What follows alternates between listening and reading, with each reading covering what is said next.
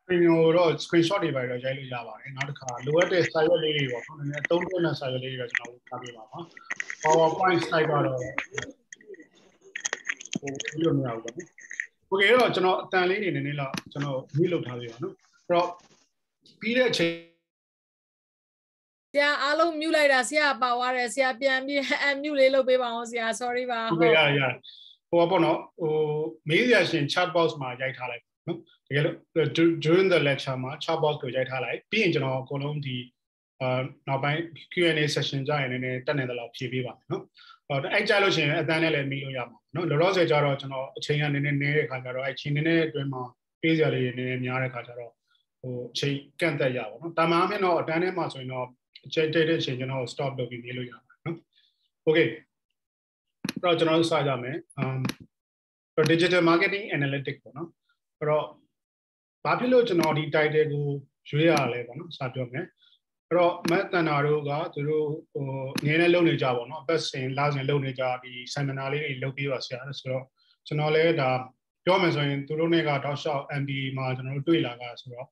contribute တခုလုပ်ချင်ပါတယ်အဲ့တော့ကျွန်တော်ဒီဖြစ်ချင်တော်ဒီက in between courses ပေါ့တာမန်အဖြစ်တော့ Saturday Sunday ကကျွန်တော်လည်းတော်တော်ကြက်တယ်အချိန်အခုကတော့နည်းနည်းလေးအချိန်ဒီ course နှစ်ခုကြားလောက်ဖြစ်နေတော့အဲ့ဒါနဲ့လွတ်သွားတာပေါ့လွတ်တဲ့အချိန်လေး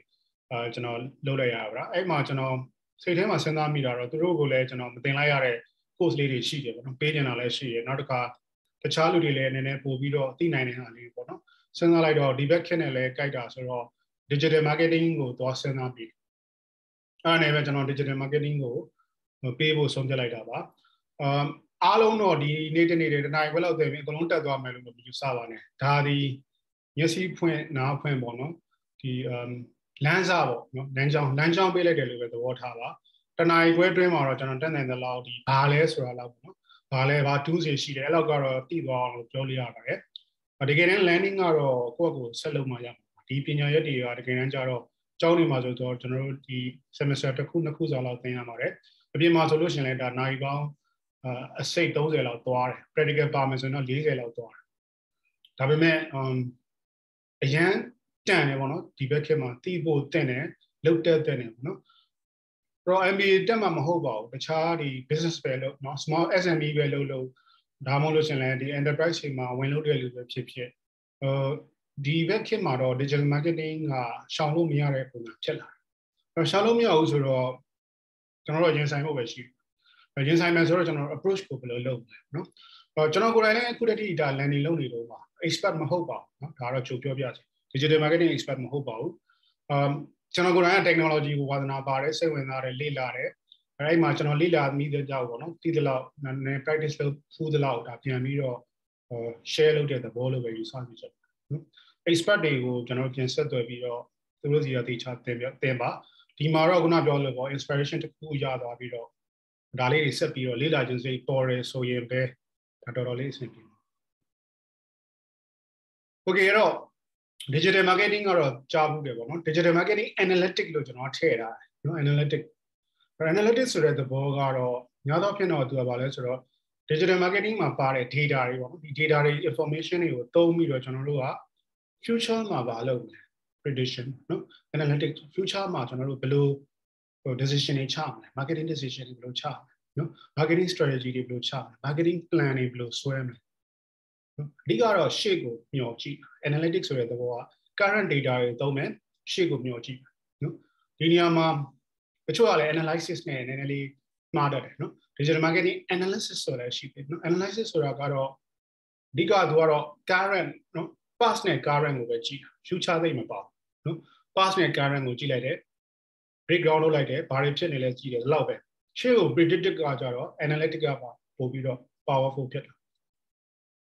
အဲ့တော့ဒီဘက်ကမှာ business analytics ရှိရယ် digital marketing analytics နော် business analytics လို့ပြောရင်တော့အကုန်ပါတယ်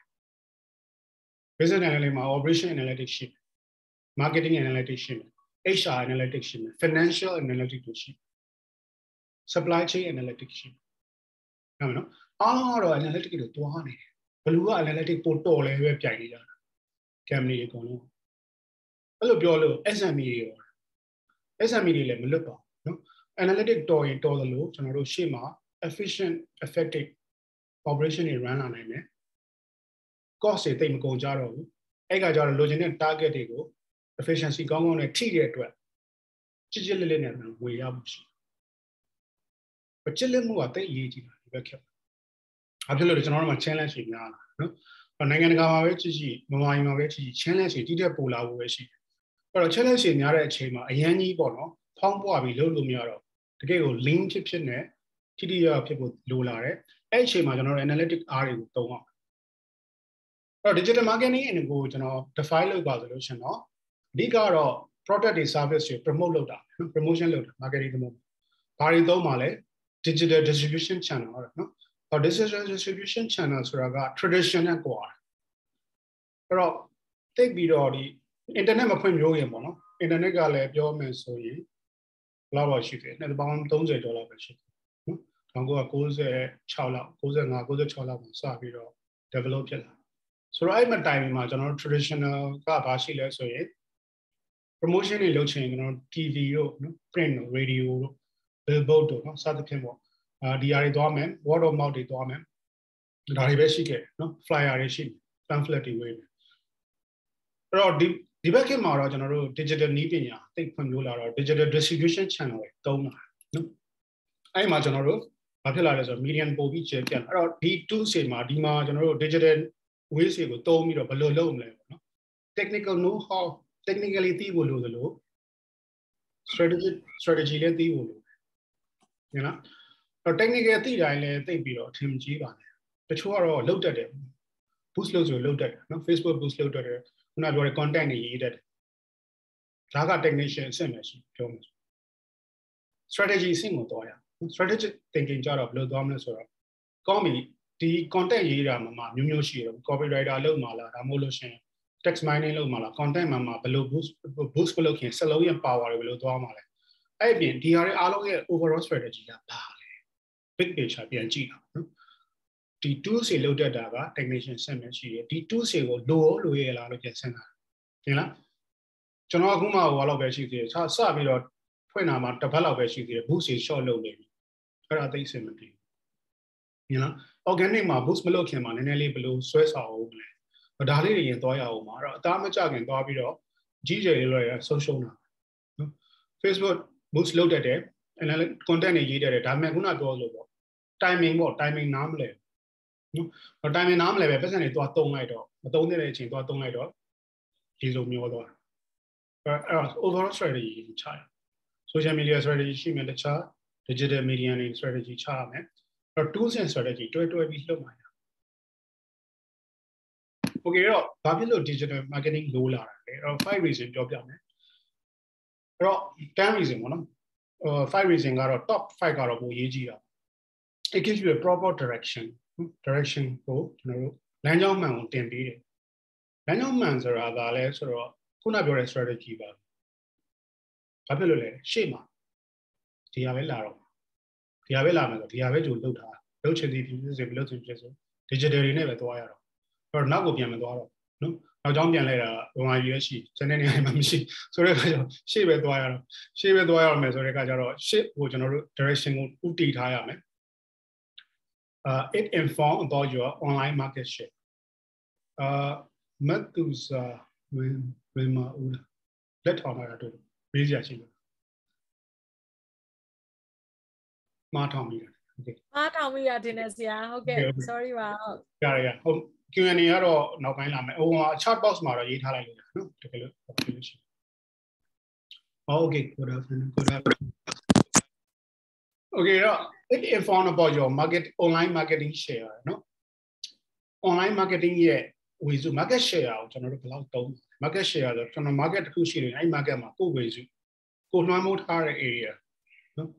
ဥပမာကျွန်တော်တို့ဒီအလှပြင်ဆိုင်တွေဖွင့်တယ်အလှပြင်ဆိုင်ကျွန်တော်တို့ တလန်းလုံးမှာရှိတဲ့အလှပြင်ဆိုင်ဘယ်နဲ့လူရဲ့ဘယ်နဲ့ရာခိုင်နှုန်းစပင်ရတဲ့လူရဲ့ဘယ်နဲ့ရာခိုင်နှုန်းကျွန်တော်တို့ရတာဘယ်နဲ့ရာခိုင်နှုန်းကိုစီကိုလာတယ်ဒါပြော to give a tough competition to competitor အဲ့တော့ competitor နဲ့ပြန်တဲ့နေရာမှာဒီရှင်ပြိုင်မှုကပို့ပြီးတော့ကျန်းလာပို့ပြီးတော့ tough ဖြစ်လာအဲ့ခါမှာကျွန်တော်တို့ traditionally နဲ့သွားလို့မရတော့ဘူး beyond tradition ကိုသွားဖို့လိုလာတယ်နောက်တစ်ခုတော့ဗာလဲ it help to know online customer အဲ့တော့ customer တွေကအာဒီဘက်ခေတ်မှာက online မှာကပုံများလာပုံပြီးတော့မြင်လာမြင်လာသင်တာရှိလာတယ်အပြင်မှာ physically တွေ့ဖို့ခက်လာဒီလည်းကြည့်တယ်နော်အဲ့တော့ online customer တွေကျွန်တော်တို့ဘယ်လိုသိအောင်လုပ်မလဲနော် know your customer ဖြစ်ဖို့အတွက်ဘယ်လိုသုံးမလဲနောက်တစ်ခါ bring all the channel together နော်အဲ့တော့ channel အားလုံးကိုပေါင်းပြီးတော့လွှတ်နိုင်တယ်တနေရာတွေက digital သည်အာကွဲတယ်ဆိုပေမဲ့လည်းအားလုံးကတော့ digital platform အသီးသီးရတယ်သွားနေတာဆိုတော့ ပြောမယ်ဆိုရင်တော့တစုရဲတစုရဲပို့ပြီးတော့ integrated ဖြစ်တယ်လို့ပြောလို့ရတယ်နံပါတ်6အချက်ပေါ့နော်ဒါကတော့တော်တော်လေးဟောပေါ့နော်ဟော reason ကြတယ် cost effective ဖြစ်တယ်တော့ချိန်တိုင်းတာတစ်ခုတွဲမှာလူအများကြီးကိုရောက်အောင်ဘယ်လိုလုပ်မလဲနော်ဘာရက cost effective ဆိုတာ cost ကိုထိထိရောက်ရောက် cost သုံးရတယ်သုံးရတာထိရောက်တယ်နော် ဒီ exposure ဘယ်လောက်ထိပါမလဲလူတွေရင်ထဲကိုဘယ်လောက်ရောက်သွားလဲ digital media တွေရဲ့နှွှမ်းမှုကရန်ခက်စားလာတယ်နော်ဘာရကိုကျွန်တော်သုံးဖို့လိုလာတယ်ဈေးသက်တာပေါ့ cost ကလည်းတစ်ခါလေဟို cost and benefit တွေ့ရတာပေါ့ဘာလို့လဲနော် marketing ဆိုပြီးတော့အများကြီးလုပ်ပြီးတော့ cost အများကြီးကုန်ပြီးရတဲ့လောက်မရရင်လည်းဒီ marketing strategy အောင်မြင်တယ်လို့ပြောလို့ရတယ်နော်မနော်လုတ်တိုင်းအောင်မြင်တာမတော်လုတ်မလုတ်တာပိုကောင်းတာရှိတယ်တခါကျရင်လုတ်တဲ့အချိန်လုတ်တယ်လုတ်တဲ့နေရာမှာလည်း cost effective ကိုကျွန်တော်တော်တော်လေးစဉ်းစားရအောင် you can get powerful value proposition တော့ powerful ပိုဖြစ်တယ် why နော်ဒါကြောင့် powerful ပိုဖြစ်တယ်အဲ့တော့ digital ဘိုင်းက communication တွေပိုကောင်းတော့ကျွန်တော်တို့ insight ပေါ့ customer insight insight ဆိုတာ customer အတွင်းပိုင်းကမြင်တဲ့ behavior ပေါ့နော်သူ့အတွင်းပိုင်းက behavior မှာဖြစ်နေတဲ့ဟာတွေ interactive ပေါ့ချက်ချင်းကိုသွားမေးနိုင်တယ်ချက်ချင်းကိုတုံ့ပြန်လာတယ်တွေ့ရမယ်ဒီဟာတွေကိုကျွန်တော်တို့ကြည့်ခြင်းအပြင်သူဒီဘာ emotion တွေဖြစ်နေလဲမြင်လား ဘယ်ကိုသွားနေတယ်ကိုပေးလိုက်တဲ့ပစ္စည်းပေါ်မူတည်ပြီးဘာ emotion တွေတုံ့ပြန်လဲ interactive ကို real time နဲ့တွေ့ရတယ်အဲ့ဒါက very powerful ဖြစ်တယ်အရင်ခေတ်တုန်းကဘာဖြစ်လဲပစ္စည်းရောင်းလိုက်တယ်ဦးမကြိုက်ဘူးဆိုပြန်မလာတော့တာပဲရှိတယ်သူဘာကြောင့်မကြိုက်တယ်ထိတ်ရေးခွင့်မရှိဘူးထုတ်ရေးခွင့်မရှိဘူးသိခွင့်လည်းသိမလွယ်ဘူးညနော်ဒီဘက်ခေတ်မှာတော့နည်းနည်းလေးမကြိုက်တာနဲ့တင်းတော့ရေးတော့အဲ့ခါကျတော့အဲ့ဘက်မှာမူဒီကျွန်တော်ဘာမကြိုက်တာလဲဘုံဘုံမူကိုသိသွားနိုင်တယ်သူနဲ့ကိုယ်နဲ့ interactive လုပ်နိုင်တယ် နောက်တစ်ခါ it's allow you to measure success အဲ့တော့ဒီမှာ type ပို့တွေ spelling တွေအများကြီးပါတယ်နော်ဒီမှာစီကကျွန်တော်လည်းဟိုယူလာတာဆိုတော့ဒီ type ပို့လေးတွေတွေ့ရတယ် direction မှားနေတယ် success မှားနေ okay it's allow you to measure success အဲ့တော့အောင်မြင်ခြင်းကိုဘယ်လိုတိုင်းမလဲဒီနေရာမှာ metric တွေပါလာအဲ့တော့အောင်မြင်မှုတိုင်းတာရဲဆိုတာကများသောအားဖြင့်တော့ quantitative တိုင်းနော် quantitative တိုင်းနေဆိုတော့လူတွေကလည်း quantitative မှာပို့လို့လုပ်တယ် quantitative ဆိုတာကဏ္ဍနေပြောတာနော်အနေဘယ်လောက်အောင်မြင်လဲဆိုတာတချို့ကပါလေလားဆိုဘယ်လောက်များလဲပေါ့ငွေဘယ်လောက်ရှိလဲတိုင်းတိတ်ရန်ကောင်းတဲ့တိုင်းတာမှုတော့မဟုတ်ဒါပေမဲ့လွတ်လပ်မှုမြင်တာထင်တာဒါသွားမြင်နော်နောက်တစ်ခါ adapt the changing market နော် adapt ဒီ ADPT adapt the changing changing market အဲ့ market ပြောင်းလဲမှုကိုလည်း like adapt လုပ်နိုင်တယ်နံပါတ်10တော့ optimize you like that many အဲ့တော့ ကိုကြိုက်တဲ့ဟာပေါ့ကိုအဓိပ္ပာယ်ရှိရှိလုပ်ထားတဲ့ဟာပေါ့ပို့ပြီးတော့ optimize ပိုကောင်းအောင်လုပ်နိုင်တယ်အဲ့တော့ strategy ချတဲ့နေရာမှာတခါလေ fitness ပေါ့နော်ကိုကို business နဲ့ကို digital media ပေါ့နော် media နဲ့ပြန်ပြီးချိန်ရတာရှိအများအား Facebook မှာ media social media မှာလုပ်တိုင်းအောင်မြင်တာမဟုတ်ဘူးကိုနဲ့ fit ဖြစ်လာမဖြစ်လာမူတည်သေးတယ် social media အစား YouTube မှာတင်လိုက်ပြီးတော့ YouTube ကရတဲ့ဟာပိုကောင်းရင်ကောင်း မြင်လားမသိဆိုတော့ဘယ်ဟာကောင်းလဲပို့ပြီးတော့သိဖို့လိုလာโอเคအဲ့တော့ဆက်ကြည့်အောင်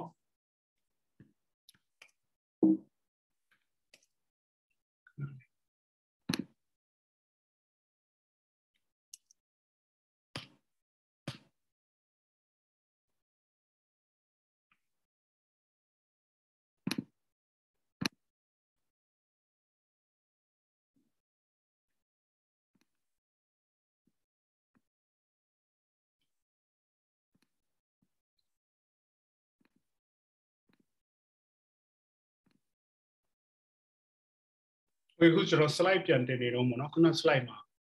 ဘာထင်ရှားဆုံးတွေ့လိုက်ရဘာထင်ရှားဆုံးခင်ဗျားတို့တွေ့လိုက်ရမယ်ဆိုတော့ကျွန်တော်ဝိုင်းထားတဲ့ cost effectiveness ကိုတော့တွေ့တယ်နော်ဒါကဆယ်ချက်ပြောပေမဲ့တကယ်တမ်းမှတ်မိတာနည်းနည်းလောက်ပဲရှိနော်ဒါကတော့အာတာနာနဲ့ဒါ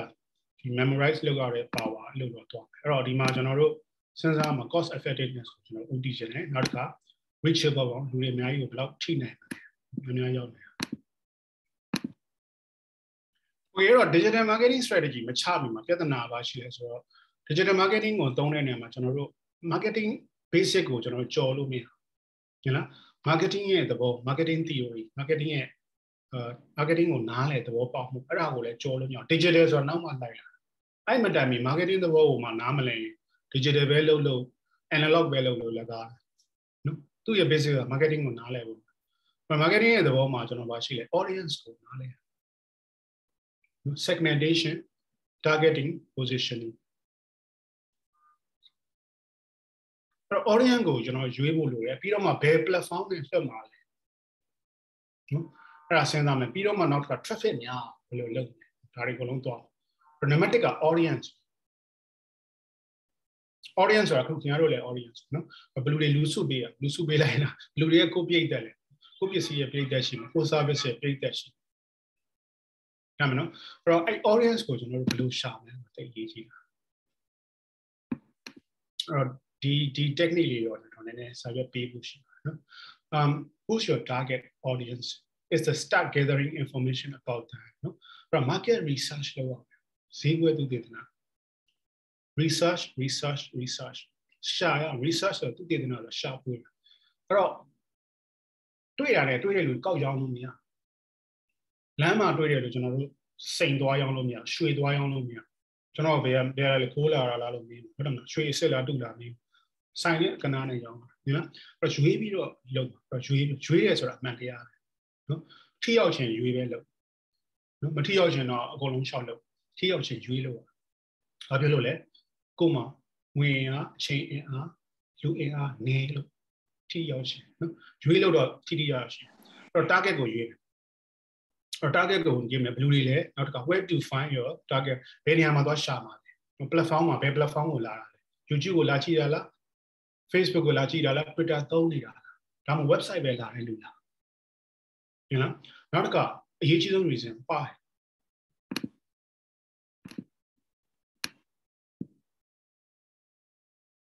အဲ့ coin ကပုံရေးကြည့်တယ်အဲ့ coin ကဒေါ်လာရဒါမျိုးဒေါ်လာလေးရေးတာ တချို့တွေဒါတွေအကုန်လုံးသိဒါပေမဲ့ငွေမထွက်လာငွေငွေမထွက်လာငွေမထွက်လာရင်တော့မအောင်မြင်ဘူးငွေထွက်လာတဲ့ purchasing decision နောက်ဆုံး final transaction ရောက်သွားဘယ်လိုသွားမလဲအဲ့ဒါကိုရေးကြည့်โอเคအဲ့ဒါကျွန်တော်ဥပမာလေးပြနော်ထားလိုက်ပါတော့ကျွန်တော်တို့လူ9ယောက်ကိုကျွန်တော်တွေးဆောင်တာနော်တွေးဆောင်ဖြားရောက်နေပါနော် gym ကိုလာပြီးတော့လုတ်လုတ်ကြဖို့နော်လူတွေတော့မသိဒီလိုပုံစံပေါ့လူငယ်တွေလည်းရှိမယ်လူကြီးတွေလည်းပါယောက်ျားမင်းမှရောနေကျွန်တော်သူတို့ကိုသွားဆွဲနော် ် သွားဆွဲအာလာခဲ့လာခဲ့ကြပါပေါ့ gym gym membership လာကြပါလို့သွားတယ်သွားလဲတော့တကယ်တမ်းဟိုနောက်ဆုံးဒီလာပြီးတော့ဟို sign up လုပ်သွားတာနော်အဲ့တော့သူတို့ကို maybe free trial ပဲပေးလိုက်နောက်ဆုံးမှာ sign up လုပ်သွားတာက mark ရဲ့ lisa ရဲ့နှစ်ယောက်ပဲ sign up လုပ်တယ်ကျန်တဲ့လူတွေက sign up မလုပ်ဟုတ်လားအဲ့တော့ဒီ9ယောက်လောက်လိုက်တယ်ကျွန်တော်က9ယောက်လုံးကို like CEO marketing လွှတ်လိုက်တယ်လွှတ်လိုက်တဲ့အချိန်မှာတကယ် ကျွန်တော်ပတ်စံ marketing လုပ်တဲ့ပတ်စံထိထိရောက်ရောက်ရှိတာနှစ်ယောက်ကိုပဲတော့ထိရောက်တယ် lisa နဲ့ mark ကိုပဲတော့ထိကျန်တဲ့လူတွေမရမရဘူးဆိုတော့ကျွန်တော်တို့ဗာစဉ်းစားလာတယ်ဆိုတော့အဲ့တော့ကျွန်တော်တို့ကဗာပြန်လုပ်ရတယ်တကယ် marketing မှန်တာတော့ lisa နဲ့ mark ကိုကျွန်တော်တို့ပို့အာရုံစိုက်တာသူတို့ကဘယ်လိုပုံစံလဲ demographic ပြန်ကြည့်နော်သူတို့ရဲ့အာ demographic ဆိုတာသူတို့ဒီခုနယောက်ျားဆိုလဲယောက်ျားမိန်းမဆိုလဲမိန်းမဆိုသူတို့ရဲ့အသက်အပိုင်းခြားလိုက်ကြည့်တယ်သူတို့ဘာတွေသင်ခဲ့တယ်ဘာတွေတက်ခဲ့လဲဘာကြောင့်ဂျင်ကိုသူလာချင်တာလဲနော် သူ profile လေးကျွန်တော်တိဆောက်တိဆောက်လိုက်တဲ့အခါမှာအဲ့ဒါတိဆောက်လိုက်တဲ့အခါ mark နဲ့ lisa ကိုလွှမ်းမိုးတဲ့ profile ပေါ့နော်ယောက်ျားမိန်းမနှစ်ယောက်လုံးပြည့်နေတယ်ဆိုလို့ကျွန်တော် gender ကိုအဓိကမထားတော့ age ကိုအဓိကထားတယ်သူတို့နှစ်ယောက်လုံးကအရွယ်ဘယ်လောက်กว่าလဲထားလိုက်ပါတော့24နဲ့30ကြာဆို24 30ကြာကျွန်တော်ရွေးထားလိုက်တခုရနော်ဒီမှာဗာရေးမလဲဆိုတော့24နဲ့30ကြာ နောက်ဘာကြောင့်လာတာလဲသူ geographic location ကြည့်တော့သူဒီဒီနားကနေနှစ်ယောက်လုံးကဒီနားကနေ9မိုင်လောက်ပဲဝေးတယ်9မိုင်ဆိုသိတယ်တမိုင်လောက်ပဲဝေးတဲ့နေရာမှာရှိ1 mile from home or walk တယောက်ကလည်း mark ကတော့ maybe အလုပ်ကနေတမိုင်လောက်ပဲဝေးတယ်အလုပ်ပြန်နေချင်သူဝင်လို့ရတယ်လီဆာကတော့အိမ်နဲ့တမန်ပဲပဲအဲ့ဒါမျိုးသွားတူတဲ့ commonality ပေါ့နော် characteristics ရှင်ဝိသေသလက္ခဏာတွေဆွဲထုတ်လိုက်တယ်ထုတ်လိုက်တဲ့အချိန်မှာကျွန်တော်တို့ဘာရလာမလဲဆိုတော့ Bradley ဆိုတဲ့ပုံစံရတာနော် မိသားစုရှိမယ်18 plus ဖြစ်မယ်ဝင်ငွေဘယ်လောက်ရှိမယ်ဒါရပါဒါကိုကျွန်တော်တို့ buyer persona persona ဆိုတာ personal လား buyer persona buyer persona အသိအရေးကြီးဒါလေးက digital ပဲလို့လို့ video marketing ပဲလို့တော့တိဆောက်ထားတယ် variety တိဆောက်တော့သူတို့နှစ်ယောက်ရဲ့ဝိသေသလက္ခဏာလွှမ်းမိုးမှုတွေဒီထဲမှာကုန်ပါတယ်နော်နောက်ကြပြည့်မြန်မာဒီလိုရှိရလူတွေအဲ့တော့အဲ့ဒါကိုပြီးလဲပြီးတော့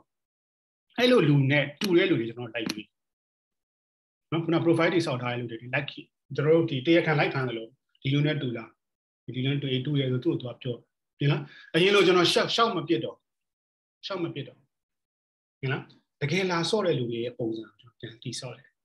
တကယ်မဆန်ပေးပြီးလာလို့တဲ့လူတွေရဲ့ပုံစံ characteristic ဆွဲထုတ်လိုက်ဆွဲထုတ်လိုက်အဲ့လူတွေနဲ့ match ဖြစ်တဲ့လူလိုက်ရှာလိုက်ရှာအဲ့လူတွေပဲကျွန်တော် marketing လုပ်တော့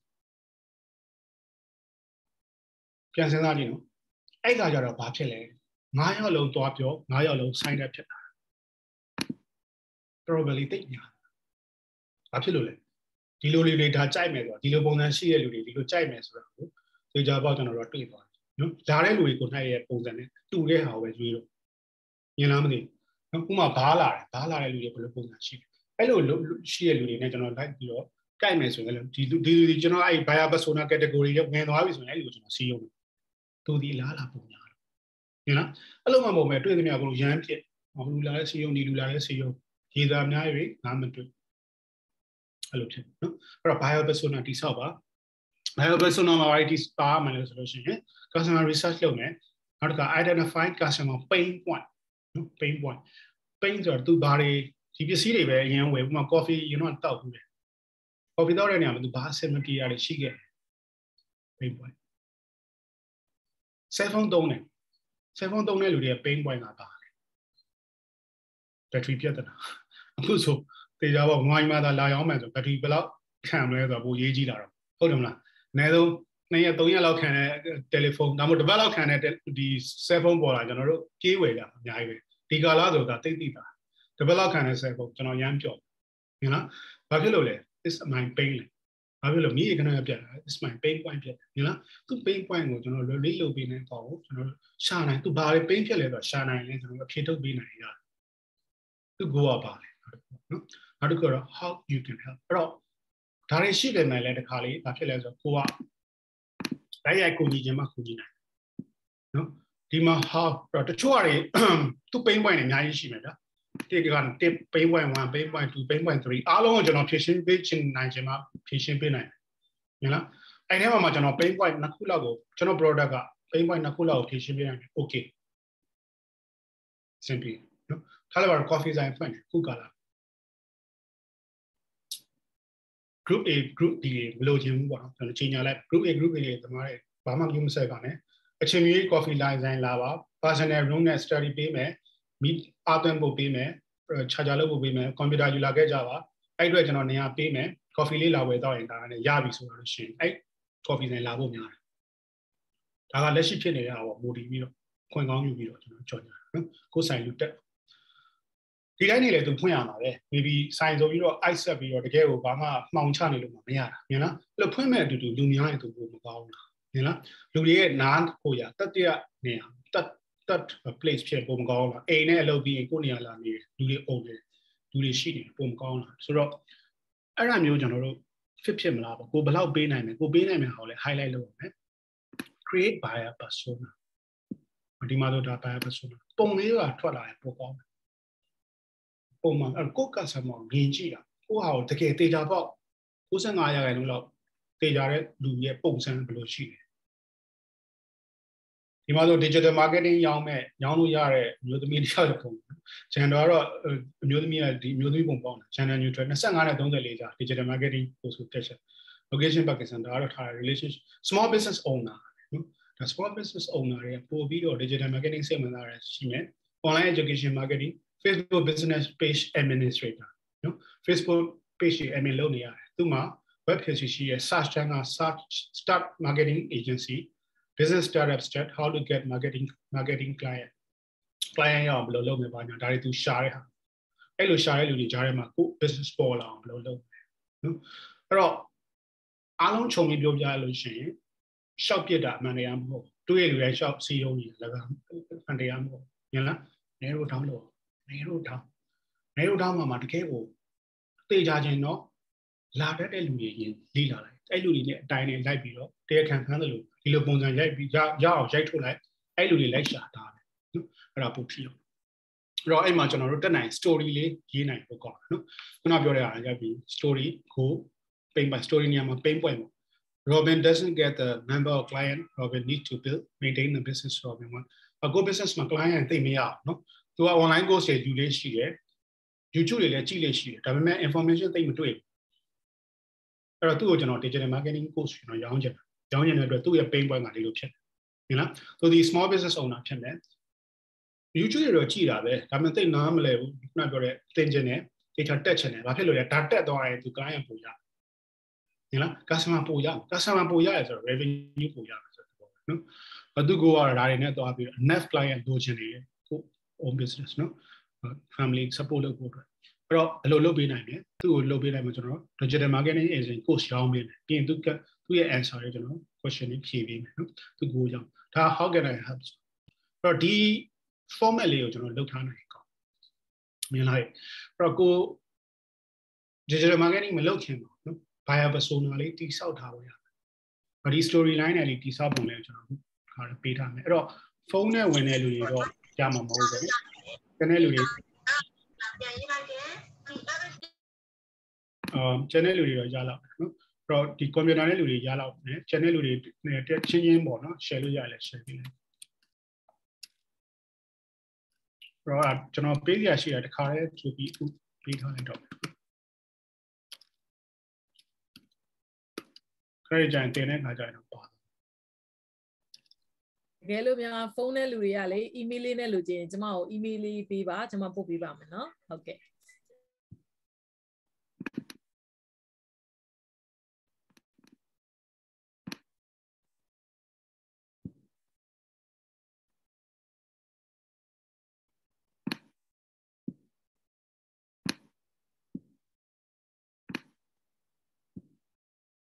ရောက်ကြတွေ့လားတွေ့သေးဘူးလာ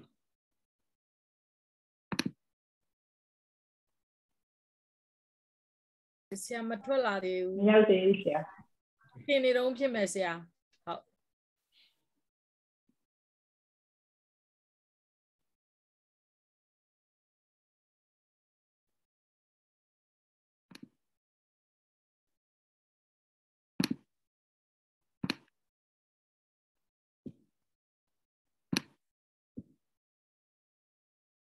ရလားမလားသေးဘူးကြာနေဘယ်နည်း share မြောက်ပိတ်တာပိတ်ပိတ်ထားပါဦးဆရာ share မပိတ်ထားပါဘူးဟာလေဆရာရတယ်ဆရာဟွာလေ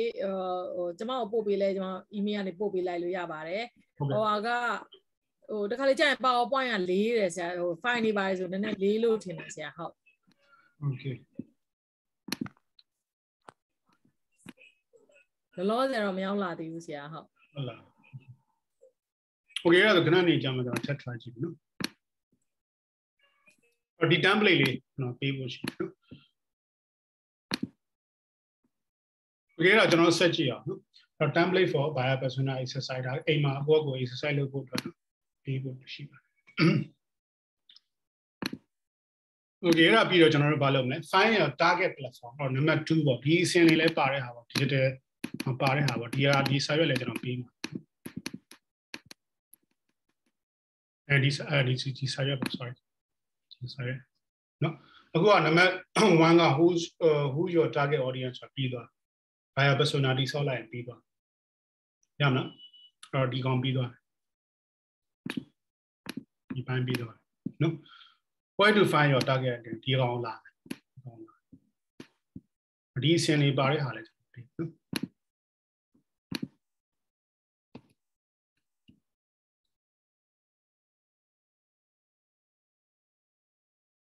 Okay တော့ platform တွေကအများကြီးရှိတယ်နော် um Facebook Instagram YouTube Pinterest uh, LinkedIn နော်နောက်က Quant အာ Quora Quora ဆိုတာသိရလို့ရှိရင် Quora Quora ချားပလမ်း Quora ကဒီ information တခုမေးလိုက်လို့ရှိရင်လေ question တွေမှာလည်း expert လို့လို့ပါလို့လူတွေပြန်ဖြေပေးတယ်နော်တခုကြိုက်တာမေးပေါ့နော်မေးတဲ့ဟာကိုသူပြန်ဖြေပေးတယ် expert တွေပြန်ဖြေပေးတဲ့ level ရှိတယ်ကိုရောလို့ပေါ့ Twitter ရှိတယ်။အဲ့တော့ဒီ platform တွေ find your target platform ဘယ် platform ရှိသမျှအကုန်သုံးလို့မရဘူး။နော်။အဲ့တော့ဘာလို့မသုံးလို့မရလဲ။သုံးဖို့လည်းမသင့်။အချိန်လည်းမရှိဘူးနော်ကတော့ခုနပြောတဲ့ resource တွေပေးရတယ်မရှိ။အဲ့တော့ရွေးသုံးအောင်နော်ရွေးသုံးရမယ်ဆိုတော့ကိုငားတွေပေါ့။ကိုယ့်ရဲ့ target audience ဘယ်မှာရှိလဲဆိုတာလိုက်ရှာ။ခုန buyer persona ကြည့်ပြီးပြီမလား။တိဆောက်ပြီးပြီနော်။ကို buyer persona တိဆောက်ထားတဲ့လူတွေကဘာအများဆုံးသုံးလဲ။အဲ့ဒါကိုသွားမယ် ဒီနေရာမှာတစ်ခုကြံခဲ့တယ်လူသိတယ်ခုခေတ်စားလာတာ2022မှာခေတ်စားဆုံးပဲ platform တစ်ခုကြံတယ်လူတွေအများကြီးသုံးနေတာရိုက်လိုက်ပါ chat box Telegram Telegram Telegram Telegram ထက်ပို့ပြီးတော့ခေတ်စားတယ်ဒါအဲဆရာ WhatsApp လဲလေကြော်ညာတွေတုံးတယ်ဆရာဟုတ် WhatsApp သိအကြိုင်ပြောလို့မရတယ်သိအကြိုင်ပြလို့မရတယ်ဗီဒီယိုတော့ပြသိအကြိုင် ပြီးနေစား TikTok Twitter Twitter TikTok TikTok Twitter Twitter Twitter လေးဆရာတော့ TikTok account တော့မရှိ5မိနစ်ဟုတ်တယ် TikTok ကပုံနာမည်ကြီးလာ2022မှာနာမည်ကြီးဆုံးကဒီ social media TikTok လို့ပြောတယ်နော်ဆိုတော့ဟို TikTok ကိုကြည့်တဲ့လူတွေပုံများလာနိုင်ငံခြားမှာပေါ့ကျွန်တော်တို့အများကြီးမသိဘူးဒါပေမဲ့အံ့ဩစရာကောင်းတာအဲ့ဒါမျိုးရေးထားတယ်အဲ့တော့ဒီထဲမှာ TikTok ပါမလားအဲ့တော့ TikTok ကို specialize လုပ်မဲ့လူတွေလည်းခုနောက်ပိုင်းအရန်ပေါ်လာ digital marketing မှာနော်အဲ့ဒါလည်းလေးလာတဲ့အဲ့ကိုငားတွေဘယ်မှာရှိလဲဘယ်ကန်ထဲမှာရှိလဲကြည့်နော်အဲ့လိုပေါ်လာငားရှိတဲ့ကန်အကြီးဆုံး၃ခုပဲလွတ်တယ်ပြန်ပြောမယ်နော်ငါအများဆုံးကန်၃ခုပဲလှုပ်တယ်။ဘာဖြစ်လို့လဲအများကြီး spend လုပ်လို့မှမရတာခုနပြောတဲ့အချိန်တွေငွေတွေဟိုဟာတွေ target တစ်ခုမှထားလိုက်ပါတော့ Facebook ကို target ထားရင်တော့မတော်တော်လေးလုပ်အောင်နော်အဲ့တော့ ဒီမှာဥမာပြတာပါတကယ်တမ်းကခုနပြောတဲ့ buyer persona ကိုပြန်ချင်းရမယ်အဲ့တော့ buyer persona ထဲမှာလည်းခုနဘယ် platform သုံးလဲဆိုတော့ပို့ပြီးတော့သိဖို့ကြိုးစားရအောင်ညီလိုက်သိတယ်ဆိုကိုကိုကိုလွတ်မဲ့ခါဆံမှာနော်ကိုပစ္စည်းသုံးမဲ့လူများစုပါလို့ပါလေ beauty beauty salon မှာသုံးထားတော့ beauty နဲ့ပတ်သက်တဲ့ပစ္စည်းတွေသုံးတဲ့လူများစုက Facebook ပဲလားဒါမှမဟုတ်ဟို TikTok ကတဲ့လူတွေတော်များများကရောဒီဟာတွေကပို့ပြီးသူတို့သုံးမယ်လို့ယူဆတာနော်အဲ့လူတွေက TikTok တွေရောအများကြီးသုံးကြတာ ဒါတွေသိလာနိုင်တယ်ဆိုရှင်ကျွန်တော် maybe Facebook ဆိုတာ TikTok လည်းလုပ်ချင် TikTok မှာလည်းပြောချင်ပြောကြားချင်ပြတယ်နော်အဲ့တော့အဲ့ဒါတွေကျွန်တော်စဉ်းစားကြရလို့အဲ့တော့အဓိကတော့သူခုန buyer persona ရောက်လာရင်သူ့ရဲ့ target platform ကိုငားတွေဘယ်မှာရှိလဲဆိုတာသိလို့မြင်လိုက်ကိုငားတွေဘယ်မှာ suggest ရှိတယ်ဒီ profile and target platform ပြီးလို့ရှိရင်ကျွန်တော်တို့ဘာလုပ်မလဲ find your target competitor နော်ကို competitor ရှာမယ်နော်ကို competitor ဘာလုပ်လဲ direct competitor နော် direct ကိုပစ္စည်းနဲ့ direct တူတဲ့လူနော် anything else they are doing ဘာတွေလုပ်နေလဲသူတို့ကရောဘာတွေလုပ်နေလဲအဲ့ဒီမှာ copy and improve လို့ပြောတာနော် copy ဆိုတာ direct copy ကိုပြောတာမဟုတ်အလားတူစဉ်းစားတဲ့သဘောပေါ့နော်ကိုယ့်ရဲ့အကြီးဆုံး competitor ပေါ့ဒီနေရာမှာ competitor ဆိုတာကိုလိုသူလိုတမားကိုပြောတာမဟုတ်ကိုတက်ကြီးရဲ့ competitor ကိုတက်ကြီးရဲ့ကိုကို business နဲ့အလားတူမှာလုပ်နေတဲ့လူတွေထဲမှာဘယ်လိုလုပ်နေကြလဲသူ frame ကိုနည်းနည်းယူမယ်ဒါပေမဲ့ improve တဲ့ပိုကောင်းအောင်လုပ်နိုင်တယ် competitor analysis လုပ်ဥမာစားတော့ဆိုင်ကြလို့ရှိရင်ကြည့်ကြည့်မယ်သူဒီ7နိုင်တော့7နိုင်လောက်မှာပိတ်ပိတ်သွားတာလားနော်ကိုကဒါမှမဟုတ်4 9နိုင်လောက်မှာပိတ်သွား9နိုင်ပောက်တာကို7နိုင်ဒီဖွင့်ပေးနိုင်တာဒါဆိုလို့ရှိရင်ဒါသူနဲ့မတူတဲ့ဟာနော်အာ breakfast lunch dinner သုံးခုလုံးကျွေးလာနော်တချို့ဘားတွေမှာပြဿနာပါလဲမနေ့ပိုင်းမှာ ဘာမှမရောဒီတိုင်းထိုင်နေတာ aircon နဲ့ဖွင့်ဘာမှမနေ့ပိုင်းမလို့ရောင်း breakfast ကိုဘယ်လိုရောင်းမလဲဘာမှတော်တော်လေးစဉ်းစားလုံမေးနိုင်ရင်ကိုကတာပြီဘာဖြစ်လို့ဒီ resource ပဲထပ်ကုန်ကြမှာမရှိဘူးနော်လုံပေးနိုင်တယ်ပေးနိုင်တယ်အဲ့တော့ပြောချင်တာက copy လို့ပြောတဲ့နေရာမှာသူ flow ကိုစဉ်းစားပါတော့ပြီးရင်အဲ့ထက်ကောင်းအောင်လုပ်နော်အဲ့ထက်ကောင်းအောင်ဒါမှမဟုတ်အဲ့သူတို့မပေးတဲ့ဟာဘာပေးမလဲစဉ်းစားအဲ့ဒါကိုအဓိကတော့နော်အဲ့ တော့အဲ့ဒါဘာလုပ်လို့ရလဲဆိုတော့ကျွန်တော် similarweb.com ဆိုတာရှိတယ်အဲ့ထဲမှာကျွန်တော်တို့ရှာလို့ရတယ်တစ်ချက်ကြည့်အောင်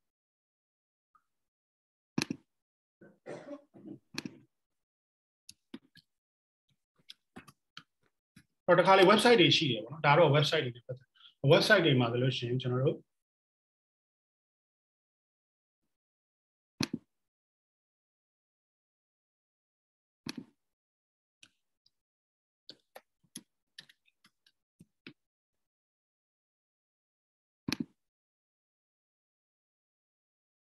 okay ကျွန်တော်ကြပြနော်အဲ့တော့တချို့ website တွေကျွန်တော်နှိမ့်လိုက်လို့ရှိရင်တို့ website က Amazon လုပ်နေလဲ Amazon နဲ့အလားတူတာပါပဲရှိလဲနော်အဲ့ဒါကျွန်တော်ကြည့်လို့ရတယ်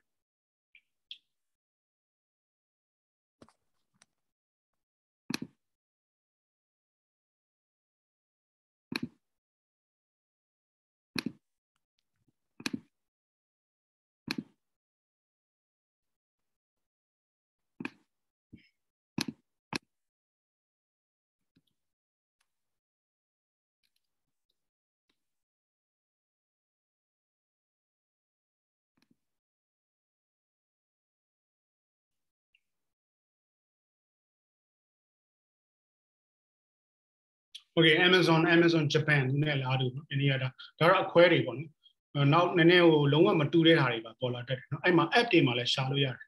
အဲ့တော့သဘောတော့ဗာလဲဆိုလို့ရှိရင်ကို competitor direct competitor ကိုကျွန်တော်ရှာကြတယ်နော်ရှာကြတဲ့ကြာ website ကနေလိုက်ရှာတာရှိတယ်နော်အဲ့မှာကျွန်တော်တို့ ranking တွေပါကြည့်လို့ရတယ်အဲ့ကြည့်ပြီးလို့ရှိရင်ကျွန်တော်တို့ဘာလုပ်လို့ရလဲဆိုလို့ရှိရင်အလားတူကသူတို့ website မှာဘယ်လို presentation တွေလုပ်ထားလဲမြင်လားဘယ်လိုတွေသူတို့လုပ်ထားလဲနည်းနည်း idea ရတော့မယ်နော် competitor ကိုယူလေ့လာ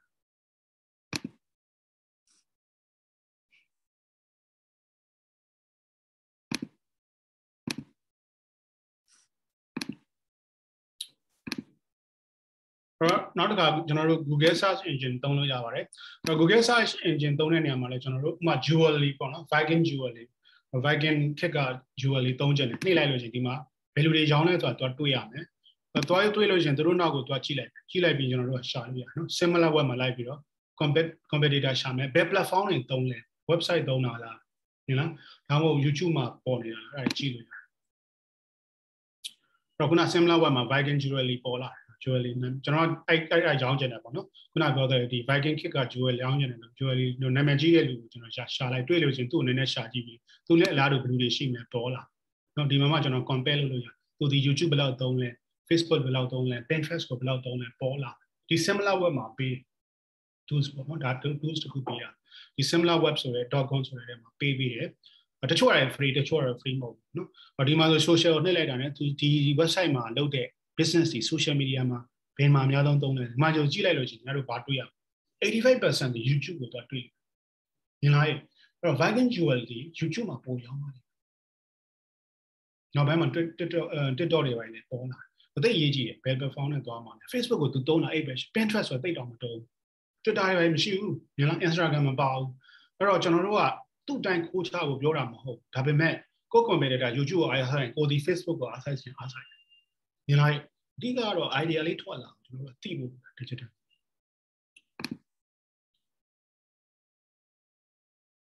decide what the most popular platform you want to use အဲ့ decide ဆိုတဲ့နေရာမှာ competitor platform ကိုလည်းတခြားလေးစိတ်ထဲမှာသိထားလို့ရှင်ပို့ပြီးတော့ဟိုနည်းနည်း idea ရတာနော်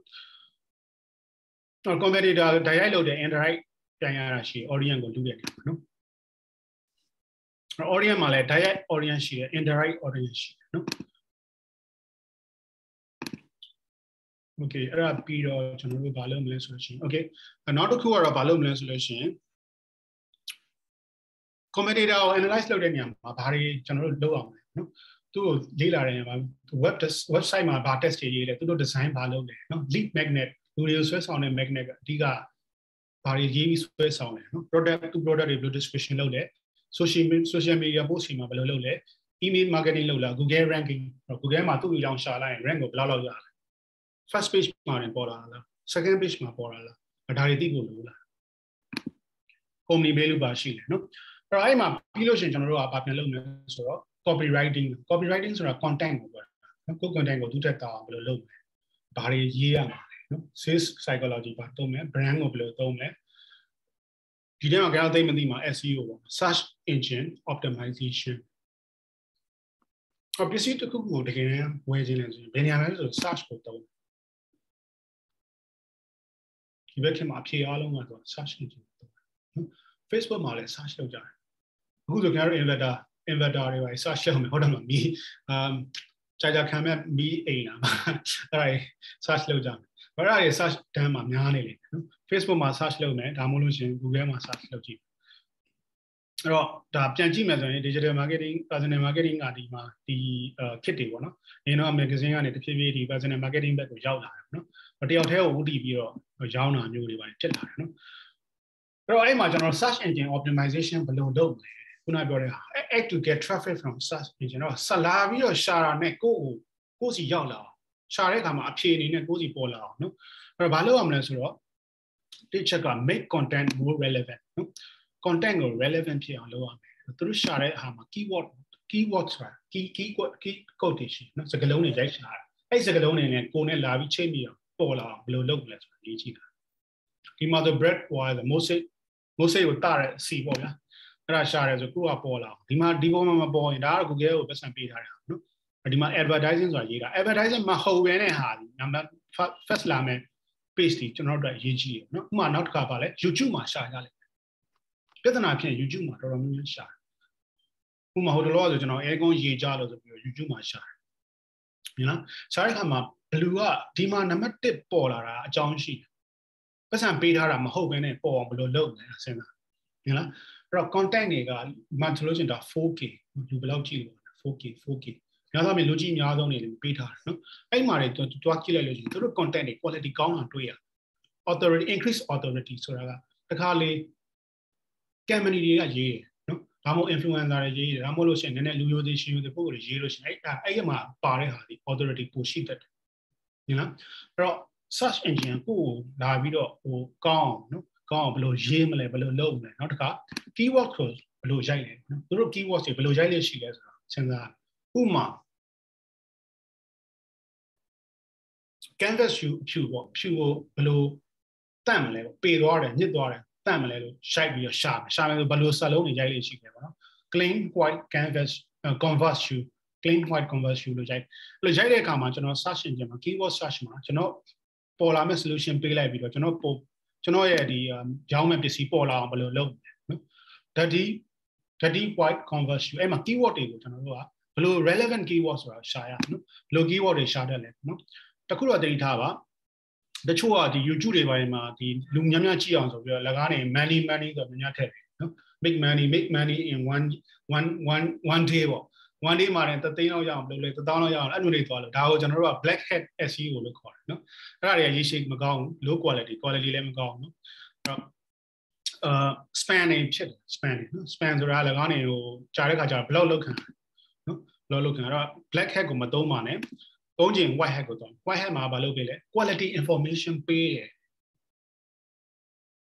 ခုခင်ဗျားတို့ကျွန်တော်လုပ်ပြီးနေတဲ့ဒီခု seminar တကယ်တမ်း quality ပေးတယ်ဆိုရင်ကျွန်တော်ဒီ white ပဲဒီလား white hat SEO အဲ့တော့ကျွန်တော် black hat ဆိုတာလူညားပြီးတော့လူလာများအောင်ပြီးတော့ချက်ချင်းပဲ digital marketing ကိုဒီနေ့တည်းတင်တာနဲ့အကုန်တက်သွားပြီပြီးရင်သက်လုံးတင်ကြမလို့တော့နော်ဝင်းတော်အောင်တယောက်ကို8500ပေးကြချက်ချင်းတရက်တည်းတက်အဲ့လိုမျိုးတွေလုပ်တယ်ဆိုတာ white black hat marketing လို့ white hat ကတော့မဟုတ်ဒါဒီအစပဲရှိရရှေ့မှာ deep သွားရမယ်အလုပ်တွေအများကြီးလုပ်အောင်မပြောလိုက်အဲကြိုက်တယ်လို့မကြိုက်ဘူးဒါမဲ့ဟိုအလွယ်တကူရဖို့ဆိုပြီးတော့လူများအောင်ပြီးတော့သွားဆွဲဆောင်အဲ့ဒါဒီသတိထားပါနော်ဒီဘက်တင်မှာအဲ့လိုမျိုးအဲ့လိုမျိုးမယုံမသားလုပ်ရင်ကြာရှည်မခံဘူးတနက်စားတော့သွားမလုပ်ဘူးကို content တွေကိုတကယ် special ပေါ့နော်အချိန်ယူပါ quality ကောင်းကောင်းပေးပါ video ဆိုလဲ quality ကောင်းကောင်းညောင်းလုပ်ပါဒီနေ့ဆိုလဲခင်ဗျားတို့ဒါကျွန်တော် free class ဆိုပေမဲ့ကျွန်တော် quality မကောင်းပါဆိုလို့ကျွန်တော် hotel မှာလာပြီးတော့လုပ်ပါနော်ဒါပေမဲ့ကအိမ်မှာမီးပြက်လို့ hotel မှာလာငားပြီးတော့ကျွန်တော် quality ပေးခြင်းလို့ဒါပေးတာဆိုတော့ um နောက်မှပြင်ပါလိမ့်မယ်နော်မှန်ပါတယ် okay အဲ့တော့အဲဒီဒီ internet traffic ကလည်းတော်တော်ကောင်းတယ်လို့ပြောတယ်နော်အဲ့တော့ guest posting networking အဲ့တော့ networking ဆိုတာဒီမှာတခါလေဒီကနေထပ်ပြီးတော့ဗားချိတ်သွားမယ်နော်ဥပမာကိုကကို website ကိုလာတဲ့အချိန်မှာတခြားဟာတွေဝယ်ခြင်းလဲကောင်းတယ်ပေါ့တင့်တော်တဲ့ဟာတွေ quality ကောင်းတဲ့ content တွေလိုက်ချိတ်ပေးလိုက်တာမြင်လား အဲ့ခုနပြောတဲ့ bread wine လာရှာဒီ Viking jewel လာရှာရင်စိန်ရှာခြင်းလဲ Viking diamond ဆိုတဲ့ဟာမှာသူတို့ ਨੇ နည်းနည်းသိမ့်မဆိုင်ပေမဲ့လဲနာမည်ကြီးတဲ့ကောင်တွေကိုဆက်ချိတ်ပေးလိုက်နော်နောက်တစ်ခါဖြည့်ပေးတဲ့ post တွေ blog တွေလုပ်ထားပေးပါတယ်နော်အဲ့တော့ဒီနေရာမှာ keyword ကအရေးကြီးတာနော်ဒါကြောင့်မို့ white hat SEO ကိုလုပ်ပါတိတ်ပြီးတော့ဟိုလူတွေကိုတိတ်အကြိုက်လိမ့်မှုမစမ်းစားပါလူတွေကိုအများကြီးကျင်းတဲ့ဖို့မစမ်းစားနိုင်ဘူးဖြစ်နိုင်တော့ reputation တော့ထိ reputation management ဆိုတာတပါးသာရှိ reputation management reputation သွားရင် trust ရဲ့ reputation တွေပျောက်သွားရင် no value ပဲ no value ဖြစ်မှာတော့ခင်ဗျဘာလို့လုပ်သိစံပြီးတော့နော်အဲ့တော့ on page SEO page SEO ကောင်းကြတယ် page rank တွေကောင်းကြလို့ရှိရင် create better content better content ကို content ပေးချတယ်အောင်စိုက်ပြီးတော့လူတွေအများကြီးလာရှာလို့ရှိရင် payment solution တွေခုနပြောတဲ့ canvas apply ကိုကျွန်တော် တန်ရှင်းပြအောင်လုပ်တော့အကောင်းဆုံးကျွန်တော်တွေ့ထားတဲ့သူတင်နာရတွေ့ထားတဲ့ဒီဟာကိုဖြူအောင်မလို့လုပ်လုပ်ကြတယ် experience တွေကနေဆွဲထုတ်ပြီးပေးပါဟင်လား create better user experience လာတဲ့လူတွေအကုန်လုံးရှာတဲ့အခါမှာလွယ်အောင်လုပ်ပေးထားပါသူလိုချင်တဲ့ဟာတွေတန်းပြီးတော့အဖြေကိုတန်းတွေ့အောင်လုပ်ပေးထားပါ usage keyword improve usage ဘာ keyword တွေသုံးပါတယ် improving page speed server ကမြန်တဲ့ server တွေကိုထားဖို့လိုတယ်ရှုပ် server တွေကနှေးတဲ့အခါကျတော့ဒီ website ကိုဝင်လဲဝင်အောင် ဓာတ်ပုံလေးတစ်ပုံပေါ်လာဖို့3-4မိနစ်ဆိုဘူးမှမကြည့်တော့တွားပြီးကွာထွက်ပြီးဟိုဒီ Google မှာရှာရှာလိုက်လို့အာ Vigan Jewel တော့တွေ့တယ်သိလိုက်ကြည့်လိုက် page load တင်ကကြာနေဒီဘက်ထဲကကြာတာမျိုးမကြိုက်မြန်လားဘာဖြစ်လို့လဲသူ server တိတ်မကောင်းတဲ့ server တွားလို့တာဈေးသက်သာရင်ပြီးရောဆိုပြီး opposite server ကြီးတော့ဝယ်တာအဲ့ကကြတော့ in the middle မှာပဲကောက်ထွက်သွားအောင်ကို page အောင်မဝင်တော့မြန်လားအများကြီးဆုံးရှုံး offline မှာကတော့ backlink တွေချိန်ထားပါ creating backlink ဆိုတာခုနပြောတဲ့ဒီ um social media တို့ဘာလို့နေမှာဒီ post social media တွေရှိလို့ရှိရင် um ကျွန်တော်တို့ဆက်ပြီးတော့ချိန်ထားပေးတာနော် social media ကို social media link တွေမှာတင်ပေးတာနော်အဲ့တော့ on page နဲ့ off page နှစ်ခုလုံးလုပ်ပါတယ်နော်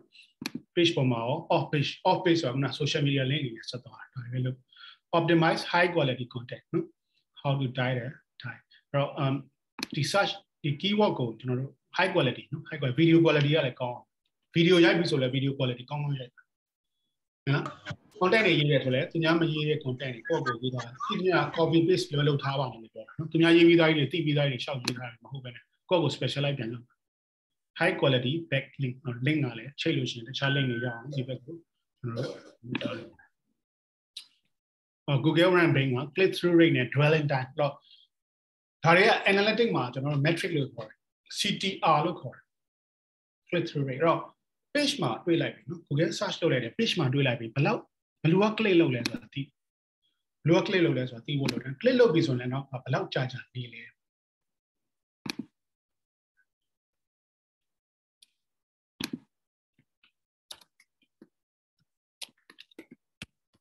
တော့ကျွန်တော်ထားလိုက်ပါတော့ Italian food ဆိုပြီးရှာလိုက်တယ်နော်